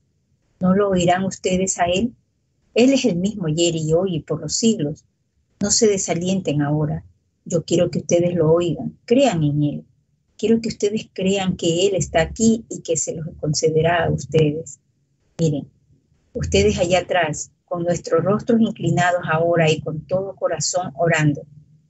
Ustedes que son un pecador y no conocen a Cristo, y para empezar la reunión correctamente, comprobémosle a Dios que lo amamos. Vengan aquí alrededor del altar y oremos. ¿Vendrán ustedes? Levántense de su asiento y vengan.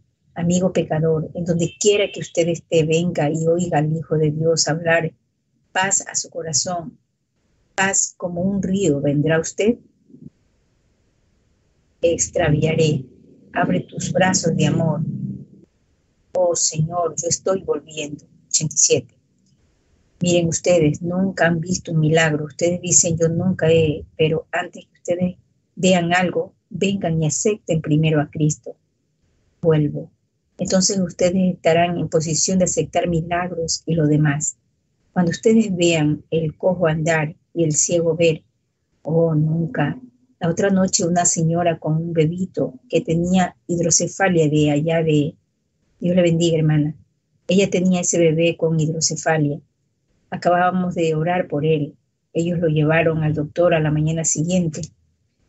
El, el doctor dijo, ¿qué le ha sucedido a este niño? Eso alarmó al vecindario, a toda la región de por allí. El tamaño de la cabeza disminuyó a lo normal, regresó, está bien, volviendo al hogar. Vengan a ver el milagro más grande de todos, Cristo cambiando el corazón del pecador. Vuelvo al hogar, vuelvo al hogar, nunca, no se levantarán y vendrán. ¿Qué de ustedes ahora que se han extraviado de Dios? ¿Qué de ustedes?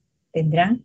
Yo solo les puedo preguntar, ustedes saben, la decisión es de ustedes. Tus brazos de amor, oh Señor, 88. ¿Se han apartado ustedes de Él? Vengan, vengan al frente esta noche con esta mujer aquí. Dios le bendiga. Venga al frente. Los estamos invitando a ustedes, vengan al frente ahorita, eso es. Vuelvo. Quede allá en el balcón, esperamos por ustedes, la gente espejará los escalones y ustedes pueden bajar, ven, bajen. Los estamos esperando. Oh, para no vagar más, abre tus brazos de amor, Señor, vuelvo al hogar, vuelvo. Amigo descarriado, me gustaría que usted viniera, usted empezaría el avivamiento correctamente si usted viene haga su propia paz. Eso es pagar. Abre tus brazos de amor. Ahora, Señor, vuelvo al hogar. 89. Miren, mientras los cantos todavía siguen siendo tocados, quiero preguntarles algo. Si ustedes quieren ver que empiece un avivamiento, empiecenlo en ustedes mismos. ¿Ven? Tiene que empezar en ustedes. La fe tiene que empezar. Miren, ¿qué de algunos de ustedes que son miembros de iglesia no les pregunté esto en Grass Valley la otra noche, antes de esa limpieza de la que estábamos hablando. Yo les pregunté aún a todas esas mujeres que les habían cortado su cabello y estaban usando ropa y cosas así. Yo les pregunté, a un ministro se pusieron de pie y confesaron que ellos habían hecho mal. Entonces el Espíritu Santo llegó, 90. Usted se tiene que enmendar, amigo. Dios no edificará un fundamento sobre algo que se caerá. Tiene que ser edificada sobre, no sobre una estimulación emocional, mental. Tiene que venir por medio de la palabra de Dios. ¿Está usted dispuesto a admitir que está mal, miembro de iglesia, y pasar aquí al frente y orar conmigo? Yo voy a orar con usted. Vengan ahora, algunos de ustedes que saben que están mal, veamos cuán sinceros son ustedes vengan aquí ante Dios, digan, yo sé que estoy mal, yo lo voy a enmendar. Amén. Dios le bendiga, señora. De esa manera ustedes obtienen algo de parte de Dios. Eso es. Dios le bendiga, jovencita. Eso es. Mientras cantamos otra vez, vengan ahora, miembros de iglesia, hombres, mujeres, lo que ustedes sean, vengan y arrodíllense aquí. Si sabemos que estamos mal, admitamos que estamos mal. Amén. ¿Qué? No corran ningún riesgo. Ustedes ya no van a recibir más oportunidad. Ustedes, ¿qué si ustedes mueren esta noche? 91. En Los Ángeles yo estaba predicando sobre la salvación, allí en el Quau Palace, en South Gate, y estaba predicando sobre la salvación. Y, y una anciana de 75 años de edad que había pospuesto su salvación todos esos años vino al altar y fue llena de Dios esa noche. Se fue a casa y partió para estar con Dios. Se fue a casa y se encontró con Dios. La gracia de Dios, piénsenlo, todos esos años y luego vino en esa última ocasión. ¿Qué si ella lo hubiera pasado por alto en esa ocasión? Esta noche ella está en la paz de Dios. Si ella hubiera pasado eso por alto, ella hubiera estado perdida para siempre. 92. Vengan ahora, ¿No vendrán ustedes mientras cantamos otra vez, hermana, todos ustedes? Vuelvo al lugar. Venga, hermano, venga, hermana. Vengamos alrededor del altar. Eso es correcto. Un padre anciano se está hincando aquí para hablar. Nunca vagar. Abre tus brazos de miembro, miembro de iglesia. Usted sabe cuántos aquí han estado antes en mis reuniones. Levanten sus manos. En las reuniones que el Señor me ha dado entonces todos ustedes saben de lo que yo estoy hablando. El Espíritu Santo bajo discernimiento. Yo estoy mirando dos docenas o más ahí mismo que deberían venir. Eso es correcto. Esa es la razón que estoy esperando de la manera que estoy esperando. Vengan. 93. Encarémoslo ahora mismo, amigos. Ustedes pudieran pensar que yo los estoy tratando de regañar, pero no lo estoy. Dios sabe eso. Yo estoy aquí para ayudarlos. Yo preferiría estar en casa con mi familia, estar en alguna otra parte que estar parado aquí como un impostor o un hipócrita y morir después de toda esta vida de luchar por todo el mundo y todo, dejando a mi familia y cosas así, y a mis amados, y estar parado aquí. Ustedes saben que no vengo por dinero. ¿Les he pedido dinero alguna vez? No, Señor. ¿He tratado alguna vez de tener popularidad? yo la evito. No tengo televisión, radio ni nada. Yo no tengo nada. Yo vengo de tal manera que puedo entrar a iglesias pequeñas y cosas así y venir aquí. Yo vengo porque lo amo a Él. Yo estoy poniendo mis hombros con esos hermanos y tratando de empujar todo dentro del reino de Dios. Párrafo 94. Ustedes leyeron en la voz de los hombres de negocio de la pequeña. Como hermana, Dios la bendiga. Es hasta el 94, hermanito. Continuamos con la lectura de este glorioso mensaje a él oír, servicio realizado en Spokane, Washington, Estados Unidos, del día 11 de julio del año 1962. A continuación, hermana Reina, por favor, en los párrafos 94 al 99 y concluimos con este glorioso mensaje.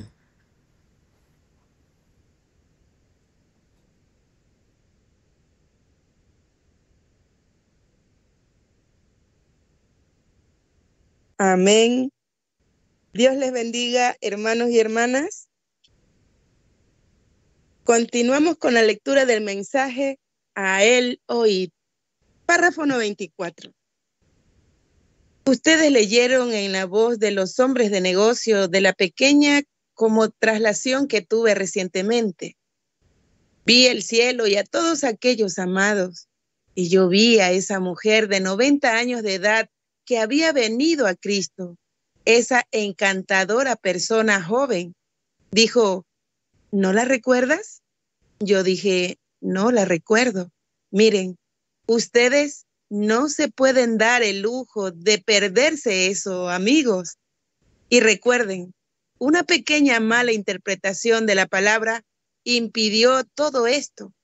Hubiera impedido que sucediera todo esto. Vengan, seamos muy, seamos muy sinceros con ello. Simplemente vengamos. 95.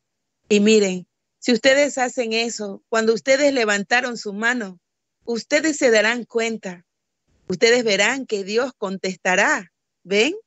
El problema de ello es que se les pasa desapercibido y ustedes dicen, sí, yo creo que eso es correcto, pero quieren decir que ustedes están permitiendo a Satanás que los engañe con eso y los sofoque cuando ustedes saben que su lugar es aquí mismo.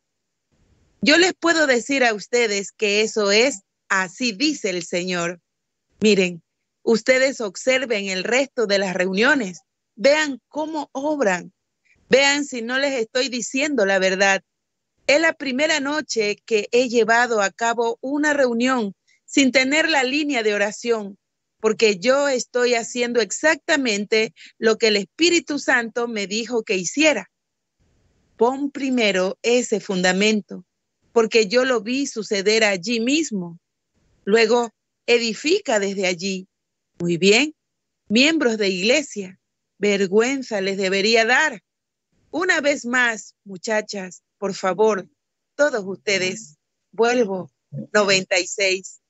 Señor Dios, por favor, te pido, Padre, esto es todo lo que sé hacer. Trae convicción a toda persona que esté mal, Señor. Ellas saben que están mal. Te pido que tú lo concedas, Señor, para que ellas puedan ver la gloria de Dios en los días por venir, pues las luces del atardecer están a punto de brillar. El sol se está ocultando. Te pido, Padre, por gracia y misericordia, ten misericordia, Señor. Te pido, mientras estamos esperando en ti, concédelo, Señor. Salva a estos que pueden ser salvos ahora. Recibe gloria, no permitas que la reunión falle por razón de algunos. Te pido que tú lo concedas esta noche, Señor, en el nombre de Jesús. Vuelvo al hogar, vuelvo al hogar. Nunca más vagaré tus brazos de amor. Ahora, Señor, vuelvo al hogar. 97. Miren, me pregunto, ¿cuántos allá en audiencia verdaderamente saben cómo orar? que creen en Dios y saben que ustedes están viviendo por encima de todas las cosas del mundo por la gracia de Dios? Las cosas del mundo no les molestan a ustedes, las modas y la suciedad de Hollywood que se han amontonado. Recuerden que la civilización ha viajado con el sol. Esta es la costa del oeste. Aquí es donde ella se ha vaciado. Así que aquí es en donde está el albergue de todo espíritu mundo. Ustedes saben que esa es la verdad. Perversión, homosexualidad, mujeres inmorales. Solo miren lo que lo empezó en el principio. Miren en los últimos días qué ha de sucedido. Aquí mismo está, vaciado en la costa del oeste, las modas del mundo. Saliendo de aquí desde Seattle y alrededor de aquí, saldrán allá está París, comportándose mal, sus mujeres desnudas y todo. Y cuando nosotros solíamos ir allá para obtener nuestras modas, ahora ellas vienen aquí. Qué vergüenza para esta nación que se llama una nación cristiana. Dios, ten misericordia. Salva a los que pueden ser salvos. Es mi oración. 98. Si ustedes están bien con Dios, e interesados en almas perdidas, vengan alrededor del altar y oremos con esta gente. Vengan mientras cantamos otra vez. Todas ustedes, personas, ustedes hombres piadosos y mujeres que verdaderamente creen en Dios, salgan de sus asientos y vengan aquí al frente. Oremos. Dejémosle saber a esta gente que estamos aquí para ayudarla. Estamos, estamos aquí para respaldar la palabra de Dios. Estamos aquí para ayudar. Eso es correcto. He vagado muy lejos. Algunos de ustedes aquí arriba que quieran bajar, hermanos, vengan. Eso está bien. Esta gente estará yendo a sus iglesias. Así que es mejor que ustedes vengan. Señor, vuelvo al hogar. Abre tus brazos de amor. Ahora, Señor, vuelvo al hogar. 99. ¿A qué hora? El hermano Branham habla con alguien. Las tarjetas de oración mañana a las 6 de la tarde. Todos, miren, todos pongámonos de pie ahora. Todos, por todo, por todo alrededor de la audiencia. Mientras estamos orando por estos, inclinemos nuestros rostros ahora y levantemos nuestras voces a Dios. Nuestros, nuestro Padre Celestial, venimos esta noche en el nombre del Señor Jesús para dar gracias y alabanzas por el Hijo de Dios. Él habla en su palabra y nosotros lo oímos a Él. Su voz llama desde los cielos y nosotros sabemos que Él sigue siendo el mismo ayer y hoy y por los siglos. Ahora permite que el poder de Dios venga sobre esta gente bajo convicción y sálvalos de una vida de pecado. Concédelo, Señor. La iglesia está orando. Satanás está derrotado. El ángel dijo, si puedo encontrar diez personas en Sodoma que son justas, oh Dios, aquí están parados esta noche un gran número de ellos, parados, listos. Estamos esperando para la reunión, Señor, un avivamiento del derramamiento del Espíritu Santo y de la sanidad de los enfermos. Concédelo Dios eterno, por medio de Jesucristo, tu Hijo. Levanten sus manos ahora, crean que Él lo hará. Pongan sus manos unos sobre otros, oren, tengan fe y crean. Dios lo concederá. Amén. Dios les bendiga, mis hermanos. Amén.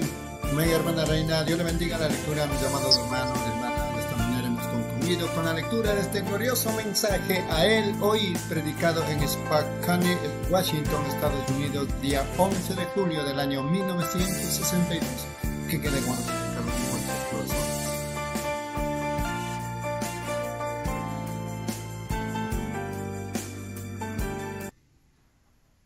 Inmediato, mis amados hermanos y hermanas, es realmente para nosotros un privilegio de conocer estos mensajes de nuestro profeta Elías, William Marion Branham, que estaba en Apocalipsis 17. Nuestro siguiente mensaje a ser lecturado se titula Quisiéramos ver a Jesús, predicado en Spokane, Washington, Estados Unidos, el día 12 de julio del año 1962.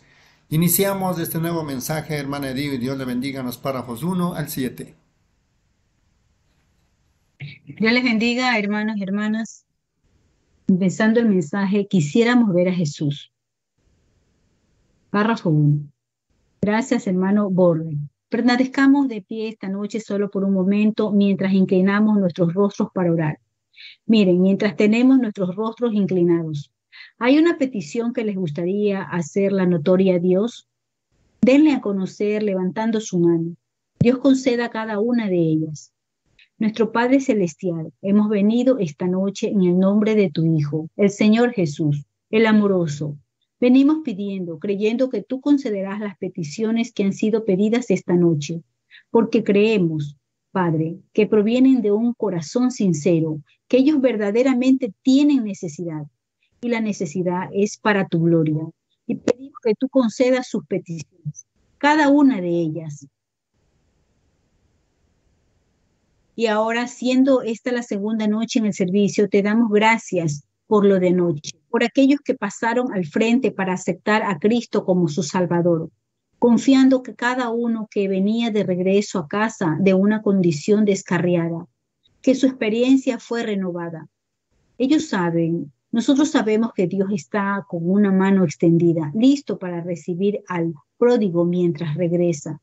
Y aquellos que estaban buscando el bautismo del Espíritu, te pedimos, Dios, que tú llenes sus corazones con tu bondad y misericordia y poder. Concédelo, Señor.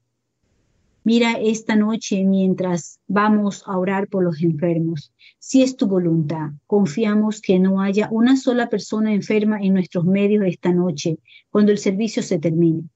Que sean sanados aquellos que se están muriendo con un problema de corazón, aquellos que se están muriendo con cánceres, por los que los doctores han peleado arduamente tratando de salvar sus vidas, pero parece que no hay esperanza. Pero Dios, hay un bálsamo en Galaad y nosotros estamos muy agradecidos de saber eso y de compartir las promesas de Dios unos con otros. Y pedimos que tú vengas en medio nuestro esta noche con tan grande fe, Señor, que sean unos momentos muy tremendos. Y pedimos que tú seas tan real para cada uno en esta noche, Señor, que cuando nos despidamos para ir a nuestros hogares, que digamos como aquellos que iban a Emaús. Aquel día después de la muerte, la sepultura y la resurrección de nuestro Señor, ellos estaban preguntando a lo largo del camino, ¿resucitó Él verdaderamente o no? Pero cuando Él los reunió en el atardecer, como a esta hora, un poco después, las puertas estaban, una profecía es dada. Y permite que tu y tu misericordia, oh Dios, sea con nosotros y nos ayude. Y libere a cada uno, Señor, que está afligido. Permite que el Espíritu Santo haga la gran obra que Él ha sido enviado para hacer entre nosotros. E inclinaremos nuestros rostros en humildad y en simplicidad y daremos gracia y alabanzas a ti. Lo pedimos en el nombre de Jesús. Amén. 4. El hermano acaba de poner aquí algunas peticiones para orar y estamos confiando que el Señor Dios concederá esto y muchas de. Alguien habla con el hermano Brano. Paños y sí. Miren, nosotros sí creemos en orar por paños para los enfermos y los afligidos. Miren, tomamos eso de la Biblia.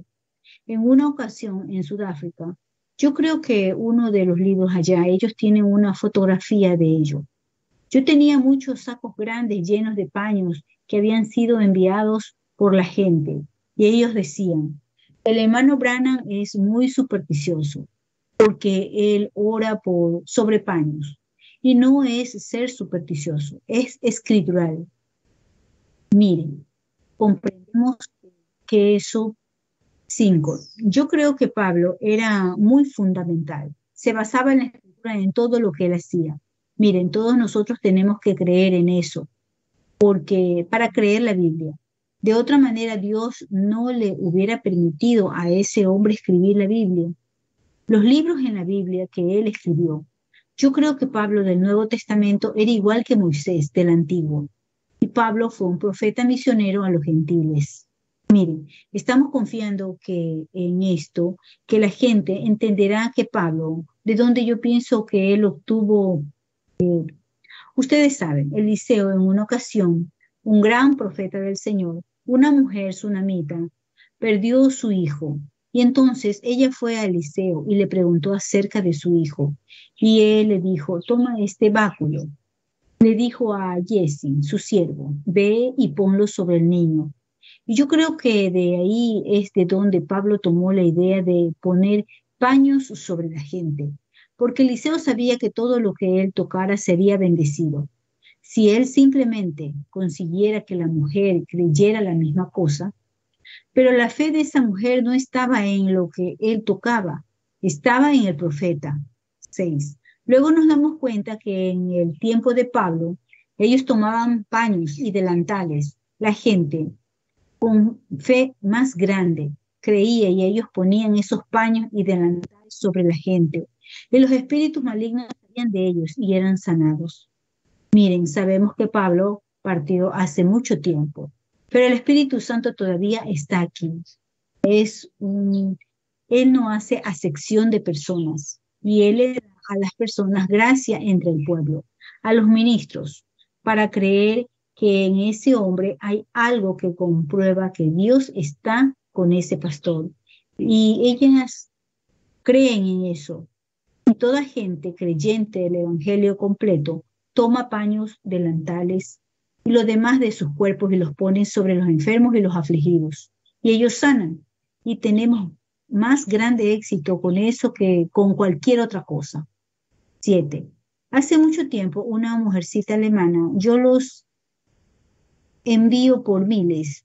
Y ella recibió uno y ella llamó a sus vecinos a que fueran. Ella no tenía pastor, así que llamó a los vecinos a que fueran y oraran. Y ella confesó todas sus faltas. Hay una sola cosa que ustedes tienen que hacer, eso es enmendar las cosas con Dios, porque la aflicción pudiera estar sobre ustedes para ese propósito, y así que para traerlos a Dios. Así que confiesen todos sus pecados. Y cuando ella lo hizo, lo puso sobre ella. Ella había estado inválida con artritis como por unos 20 años y dijo, muy bien, diablo, ahora la obra está terminada, así que apártate, voy a levantar.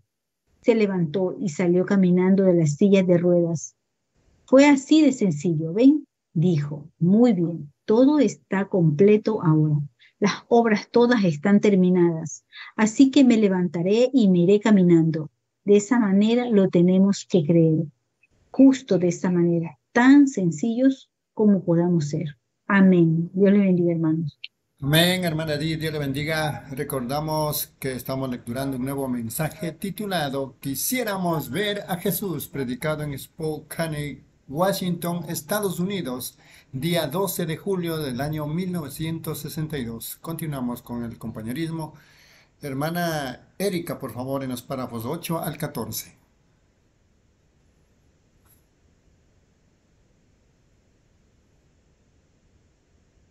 Dios le bendiga, hermanos y hermanas. Vamos a continuar con el mensaje. Quisiéramos ver a Jesús del año 620712. Párrafo 8. Nosotros la gente hoy en día hace el Evangelio muy complicado para la gente. Ven, esa siempre ha sido la razón que se les pasa por alto a la, a la multitud de gente. Y el Evangelio fue enviado para todos, pero por lo general es la multitud de gente que lo escucha. Lucas dice, la multitud de gente oía a Jesús de buena gana, la multitud de gente. Y así que Dios lo hace tan sencillo. Él dijo en Isaías, por torpe que sea, nos extraviará. Así que nosotros nunca lo queremos hacer complicado. Es sencillo, la simplicidad de creerlo. Solo teniendo fe, no se aparten de ello, quédense con ello y Dios se encargará del resto. 9. Miren, anoche los retuve tarde. Esta noche voy a tratar de orar por los enfermos. Y pienso que Billy me dijo hace un rato que él repartió a la gente un grupo de tarjeta de oración. La razón que hacemos eso es para mantenerlos en línea, para el que pueda venir y el que no pueda, y cada uno que recibe una tarjeta pueda, pueda venir a la plataforma. Pero cualquiera que alguna vez ha estado en la reunión sabe que hay cinco que sanan en la audiencia mientras uno solo sana en la plataforma. Siempre es más grande en la audiencia. Miren, mucha gente quiere que uno ponga mano sobre ella, eso está perfectamente bien. Eso es la escritura. Jesús dijo, estas señales seguirán a los que creen. Sobre los enfermos pondrán sus manos y sanarán. Miren, esa es la palabra de Dios. Así que lo creeremos. Perdón, lo creemos. Miren, pero fije, se fijaron ustedes, esa como que fue una costumbre judía. No fue así con los gentiles.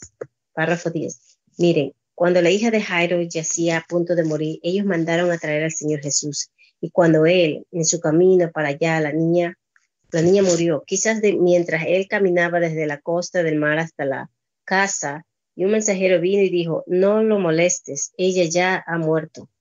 Y fíjese lo que dijo Jairo.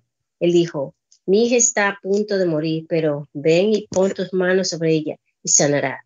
Ella será sanada. Ese fue un judío, porque él era un maestro, un rabí, párrafo 11. Pero se fijaron en el romano, el gentil. Cuando Jesús fue a sanar a su siervo, él dijo, no soy digno que entres bajo mi techo. Y él dijo, solamente yo soy un hombre bajo autoridad. Dijo, yo le digo a este hombre, ve y él va. A este hombre, ven y él viene. Ven. él estaba diciendo a Jesús que él reconocía que él, que el Cristo tenía la autoridad sobre todas las enfermedades, igual que él tenía autoridad sobre los 100 hombres que estaban bajo su marido, perdón, su manto. Ven, yo también soy un hombre bajo autoridad y yo le digo a este hombre que está bajo mi autoridad, ven y ve, y él obedece. Solamente di la palabra, mi siervo vivirá. Eso es todo. Eso es. ¿Se fijaron en lo que dijo nuestro maestro? Él se volteó y dijo, yo no he encontrado fe como esta en Israel. Ven, ven, solamente di la palabra. Eso es todo lo que tú tienes que hacer. Porque él sabía que toda enfermedad y toda aflicción y todo estaba bajo el control de Cristo. Todo lo que él tiene que hacer es hablar la palabra. Y envió su palabra y lo sanó. ¿Ven? Así que sabemos que necesitamos su palabra. Es la palabra que nos hace libres. Párrafo 12. Miren, esta noche, si ustedes anotan texto, yo solo quiero dar una pequeña base.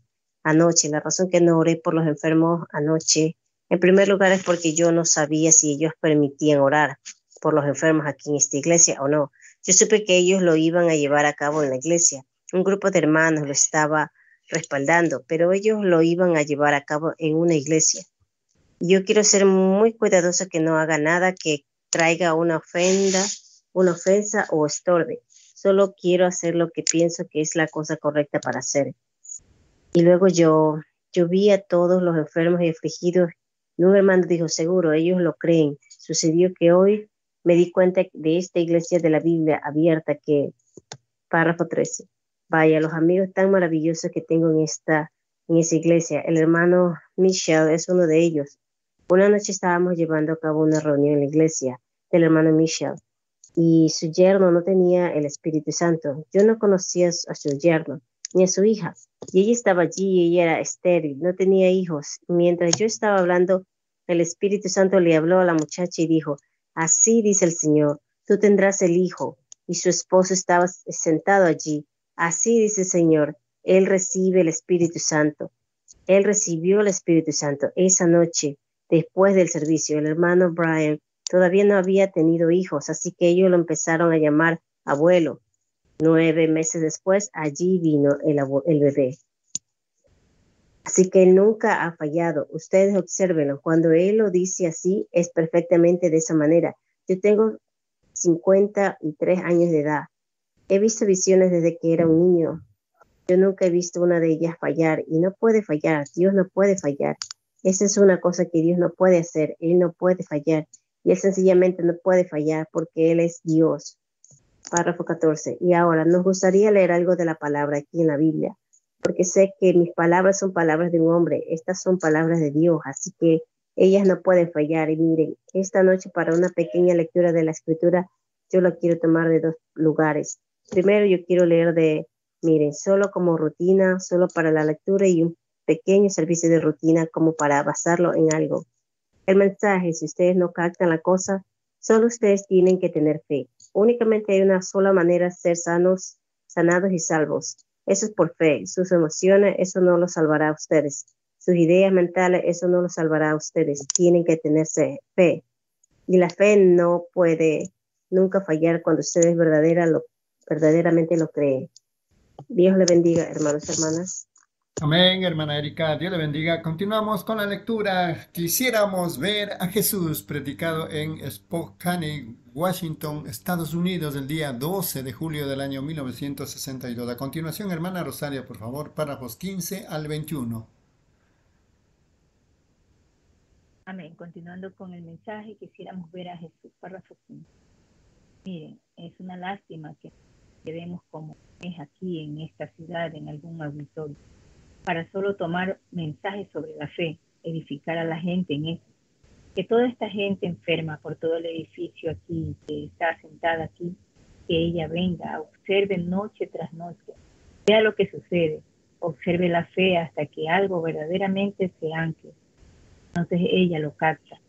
Cuando, cuando la fe se ancla, allí se queda, nunca se moverá, nada puede mover la fe.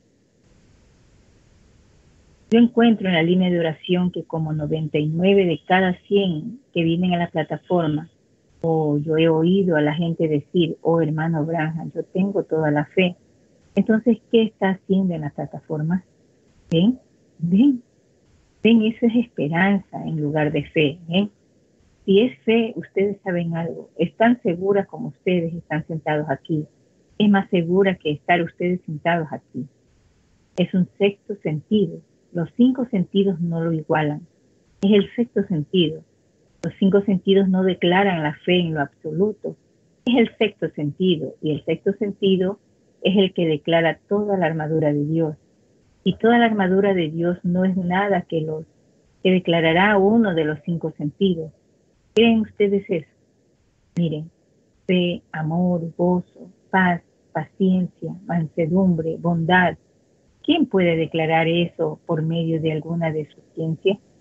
Ustedes no lo pueden hacer. Es fe el sexto sentido que va y lo declara.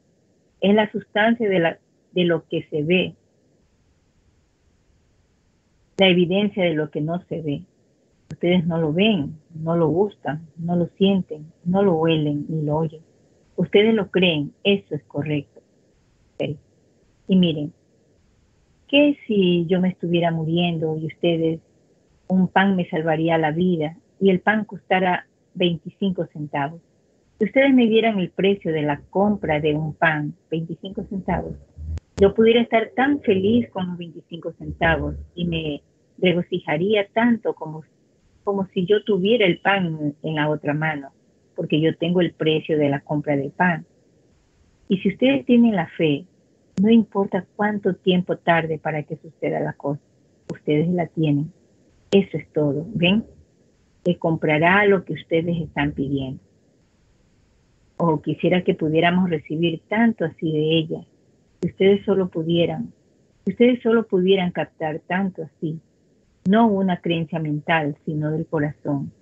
Entonces no hay nadie, nada en ninguna parte que los pudiera apartar de ellos. Cuando algo está anclado, eso lo concluye. Ustedes ya no pudieran negar eso, así como no pudieran negar que ustedes son seres humanos, ¿ven? Sencillamente es la parte real, nosotros lo debemos creer. Párrafo 17. Miren, quiero decir esto, que yo no soy un sanador divino. La gente me llama así, pero yo no lo soy. Ningún hombre es un sanador. Si un hombre pasa por aquí y dice que él es un sanador, ustedes tengan cuidado con ese hombre. Algo anda mal. Ni tampoco soy yo un salvador.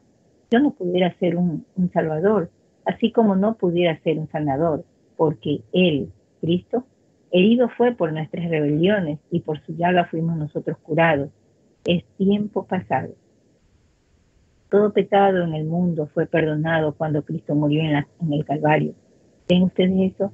Hay una expiación de sangre sobre el altar por, los pecados del mundo, pero no les hará ningún provecho hasta que ustedes lo acepten y lo confiesen. Y Él nunca puede obrar en ello hasta que ustedes primero lo digan y por fe lo acepten. Entonces, Él es un sumo sacerdote para interceder en base a nuestras confesiones, ¿ven? Él no se puede mover, Él está atado, no hay nada que Él pueda hacer hasta que ustedes primero lo acepten y lo confiesen y lo crean de corazón. Entonces eso lo toca a Él y entonces Él puede empezar a obrar en ello e interceder por ustedes. Ahí lo tienen. Así que entonces alguien dice, yo tengo sanidad en mis manos yo tengo sanidad. Oh, bueno, está en sus manos, ¿qué le sucedió entonces al Calvario? ¿Ven? ¿Qué le sucedió a la sangre del Señor Jesús? Si el frotar aceite o sangre o humo fuego o lo que pudiera ser es sanidad, ¿qué le sucedió entonces al Calvario? ¿Qué le sucedió a la sangre de Jesucristo? Con razón la gente está tan confundida si ella únicamente se pudiera detener un momento para comprender que tiene que un falso únicamente declara absolutamente que hay un verdadero, pero la gente simplemente no sabe qué camino tomar. Ha habido tanto que ha salido en nombre del Espíritu Santo, ha habido tanto que ha salido en el nombre de sanidad divina, a tal grado que la gente con sentido común, uno no la puede culpar por tener miedo, pero recuerde, amigos, que tan cierto como hay una que no está correcta, tiene que haber una que sí está correcta. Pero, ¿qué, qué es pecado? es incredulidad. ¿Qué es justicia? Es la fe. Y el pecado únicamente es la justicia pervertida. ¿Qué es una mentira? Es la verdad mal representada. ¿Qué es adulterio? Es el acto correcto, mal representado en la manera incorrecta, ¿ven? Todas las cosas. todas las cosas únicamente hay dos cosas. Esas son el bien y el mal. Y Satanás no es un creador.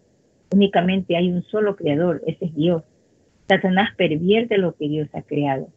Pero mientras ustedes tengan fe en el creador, en él, Dios lo regresará a su lugar correcto. 20.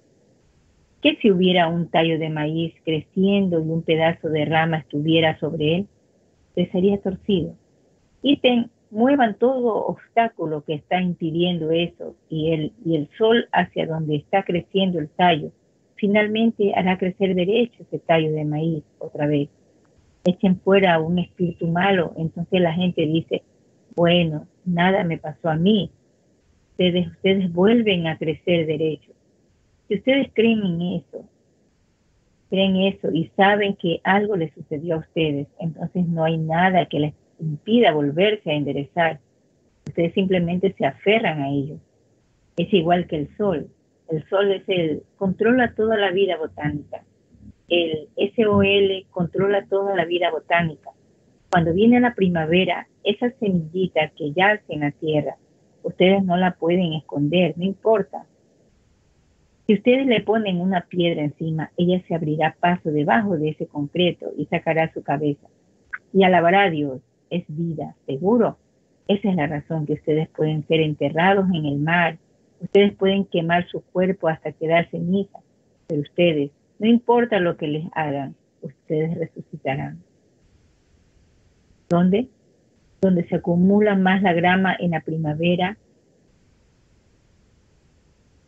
Si ustedes ponen concretos y ponen rocas encima de ella, allí a la orilla de su pavimento. ¿Por qué? Es toda esa vida debajo de allí. Cuando ese sol empieza a brillar, aunque ella esté debajo del concreto, tiene que encontrar su salida, sacar su cabeza y alabar a Dios. Tan cierto así como ese sol le empieza a pegar, al drag. Párrafo 21. Y tan cierto como el HIJO, quien controla toda vida eterna, si le pega a esa semilla predestinada, germinada, algo sucede, se agarra y allí se queda agarrada. Se abre paso sacando la vuelta a todo obstáculo que hay. Finalmente saca su cabeza y dice, alabado sea Dios. Yo sabía que era verdad. Eso es, eso es fe. Créanlo. No simplemente lo manufacturen. Sean un creyente, sean genuinos. Por eso es que yo hice primero mi llamamiento al altar anoche, antes de empezar una línea de oración Pudiéramos haber tenido la línea de oración anoche, pero teníamos gente en el altar. Primero teníamos que poner el fundamento. Amén, hermano, Dios le bendiga. Amén, hermana Rosalia, Dios le bendiga la lectura. Continuamos con este glorioso compañerismo, la lectura del mensaje. Quisiéramos ver a Jesús predicado en Spokane, Washington, Estados Unidos, el día 12 de julio del año 1960. Y a continuación, hermana Reina, por favor, en los párrafos 22 al 28.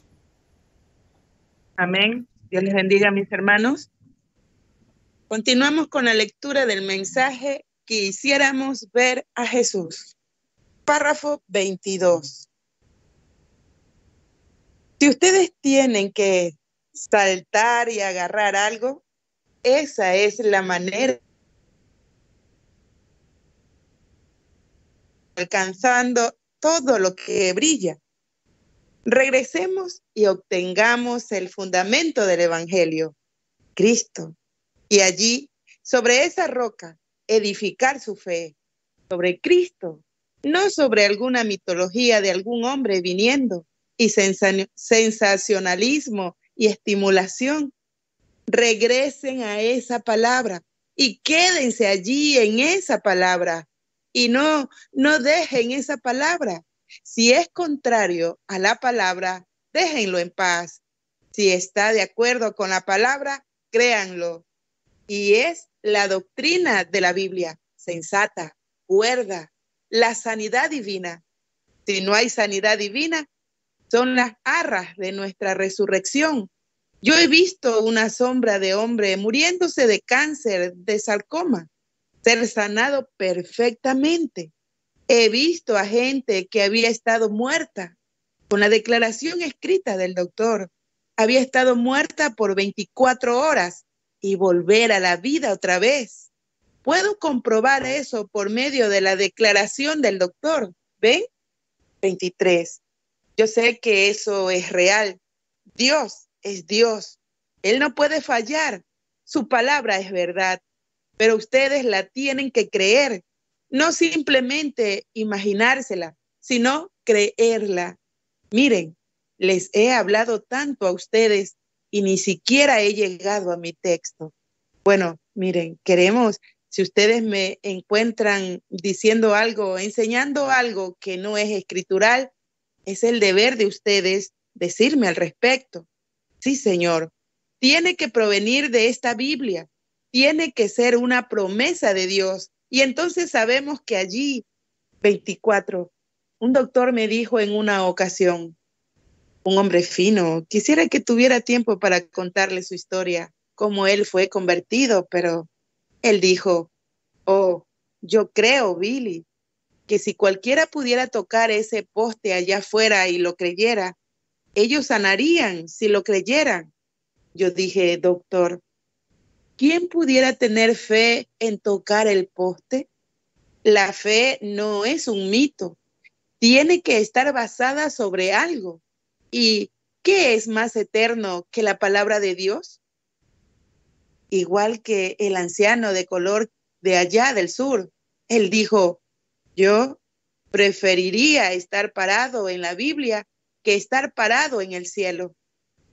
Su patrón le preguntó por qué. Él dijo, bueno, la Biblia dice que los cielos y la tierra pasarán, pero mi palabra no pasará. Así que, aunque los cielos y la tierra hayan pasado, Él todavía estará allí, porque Él está parado en la palabra. Amén. Y eso es pararse en la palabra. Es la verdad. Dios lo dijo. Ningún otro, nada más en el mundo puede tomar su lugar. Ninguna institución, ninguna denominación, nada puede tomar el lugar de la palabra de Dios. Y todo lo contrario a ella está errado para mi manera de pensar. 25, miren, leamos aquí ahora en nuestra preciosa Biblia de San Juan el capítulo 12 y el versículo 20. Luego quiero tomar Hebreos 13, 8 para un pequeño respaldo. Y ese es siempre el tema de la campaña.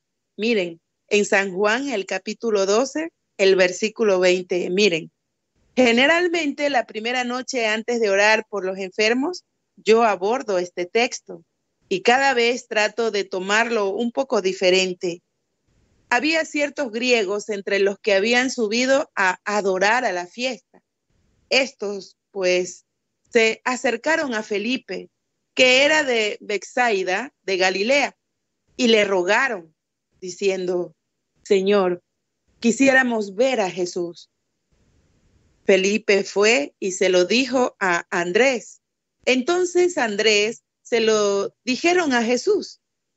Y en Hebreos 13:8 la Biblia dice en el capítulo 13 de Hebreos y el versículo 8 que Jesucristo es el mismo ayer y hoy y por los siglos.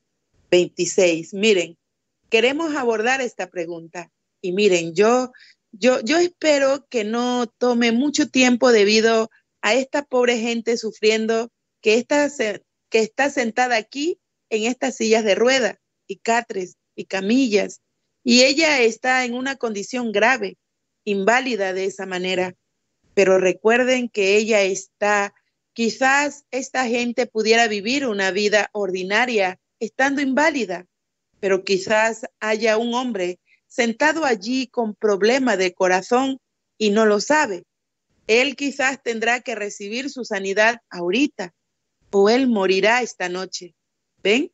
Nosotros no sabemos, Hagamos la escritura tan clara y sencilla como podamos, con la ayuda de Dios, para que seamos capaces de, ayudar a todo el grupo que encuentre. Vea de lo que estamos hablando. Miren, yo tengo unas cuantas escrituras escritas aquí a las que me quiero referir. Y miren, quiero que ustedes oren conmigo mientras me refiero a ellas. 27. Miren, la pregunta es, como un misionero yo he tenido la experiencia de reunirme con toda clase de religiones. Recientemente fui invitado como huésped en Bombay, India, por 17 diferentes clases de religión y cada una de ellas niega a Cristo y a Dios. ¿Ven? Ese es solo, ese es solo un grupito de ellos. ¿Ven? Hay toda clase de dioses, toda clase de todo. Esa es la razón por la cual no puedo. Me pregunto, ¿por qué nosotros en América, bajo un solo Dios, con una iglesia en cada esquina de esa manera, no nos podamos reunir y tener compañerismo? Sencillamente no lo puedo entender. Yo puedo entender a esa gente con un Dios diferente, pero ¿qué de nosotros? ¿Ven? Miren, y cada uno tiene su idea mística, pero cada uno de ellos, sus fundadores, fueron hombres que vivieron y murieron y los enterraron y todavía están allí. Pero hay únicamente uno de ellos que es verdadero y eso es el cristianismo. Pues el fundador del cristianismo vivió, murió y resucitó para probar que Él era Dios y ha estado vivo por dos mil años con nosotros. Eso lo hace a Él el mismo ayer y hoy por los siglos. Amén. 28. Miren, yo leí de San Juan. Vamos a regresar al principio de San Juan y solo empezar a hablar acerca de Jesús por un ratito y darnos cuenta acerca de él. Miren, si yo les dijera a todos los católicos aquí, ¿cree su iglesia que él es el mismo ayer y hoy y por los siglos? ¿Sí? Luteranos, bautistas, pentecostales, iglesia de Dios, asamblea de Dios, oh, todos dirían sí, seguro. Bueno, hay mucha diferencia en alguna parte. Tiene que haber algo incorrecto o algo correcto en alguna parte según pienso, están muy, están muy desunidos. Ahora, miren, únicamente hay una sola manera en la que nosotros nos podemos dar cuenta hoy en día si Él es hoy el mismo como era ayer, y es el, el darnos cuenta de lo que Él era ayer y luego probarlo, si Él es el mismo hoy en día. Miren, Él es el mismo ayer y hoy y por los siglos. Amén. Dios le bendiga, mis hermanos. Amén, hermana Reina. Dios le bendiga la lectura, mis amados hermanos y hermanas. Por el tiempo vamos a concluir y más adelante tenemos un servicio del culto. Si Dios permite, el día de mañana continuaremos con este glorioso compañerismo. Esta es la lectura de este mensaje. Quisiéramos ver a Jesús predicado en Spokane, Washington, Estados Unidos, el día 12 de julio del año 1962. Oramos. Muchas gracias, Padre Eterno. Señor Dios Todopoderoso. Te agradecemos, Señor, porque tú nos trajiste a este mundo. No fuimos nosotros de decir a papá o mamá, mira, tráeme al mundo. No, Padre, nadie venimos porque nosotros queremos, sino tú elegiste, Señor. Tú nos enviaste a este mundo para cumplir una misión, Señor. No es casualidad que venimos de este mundo.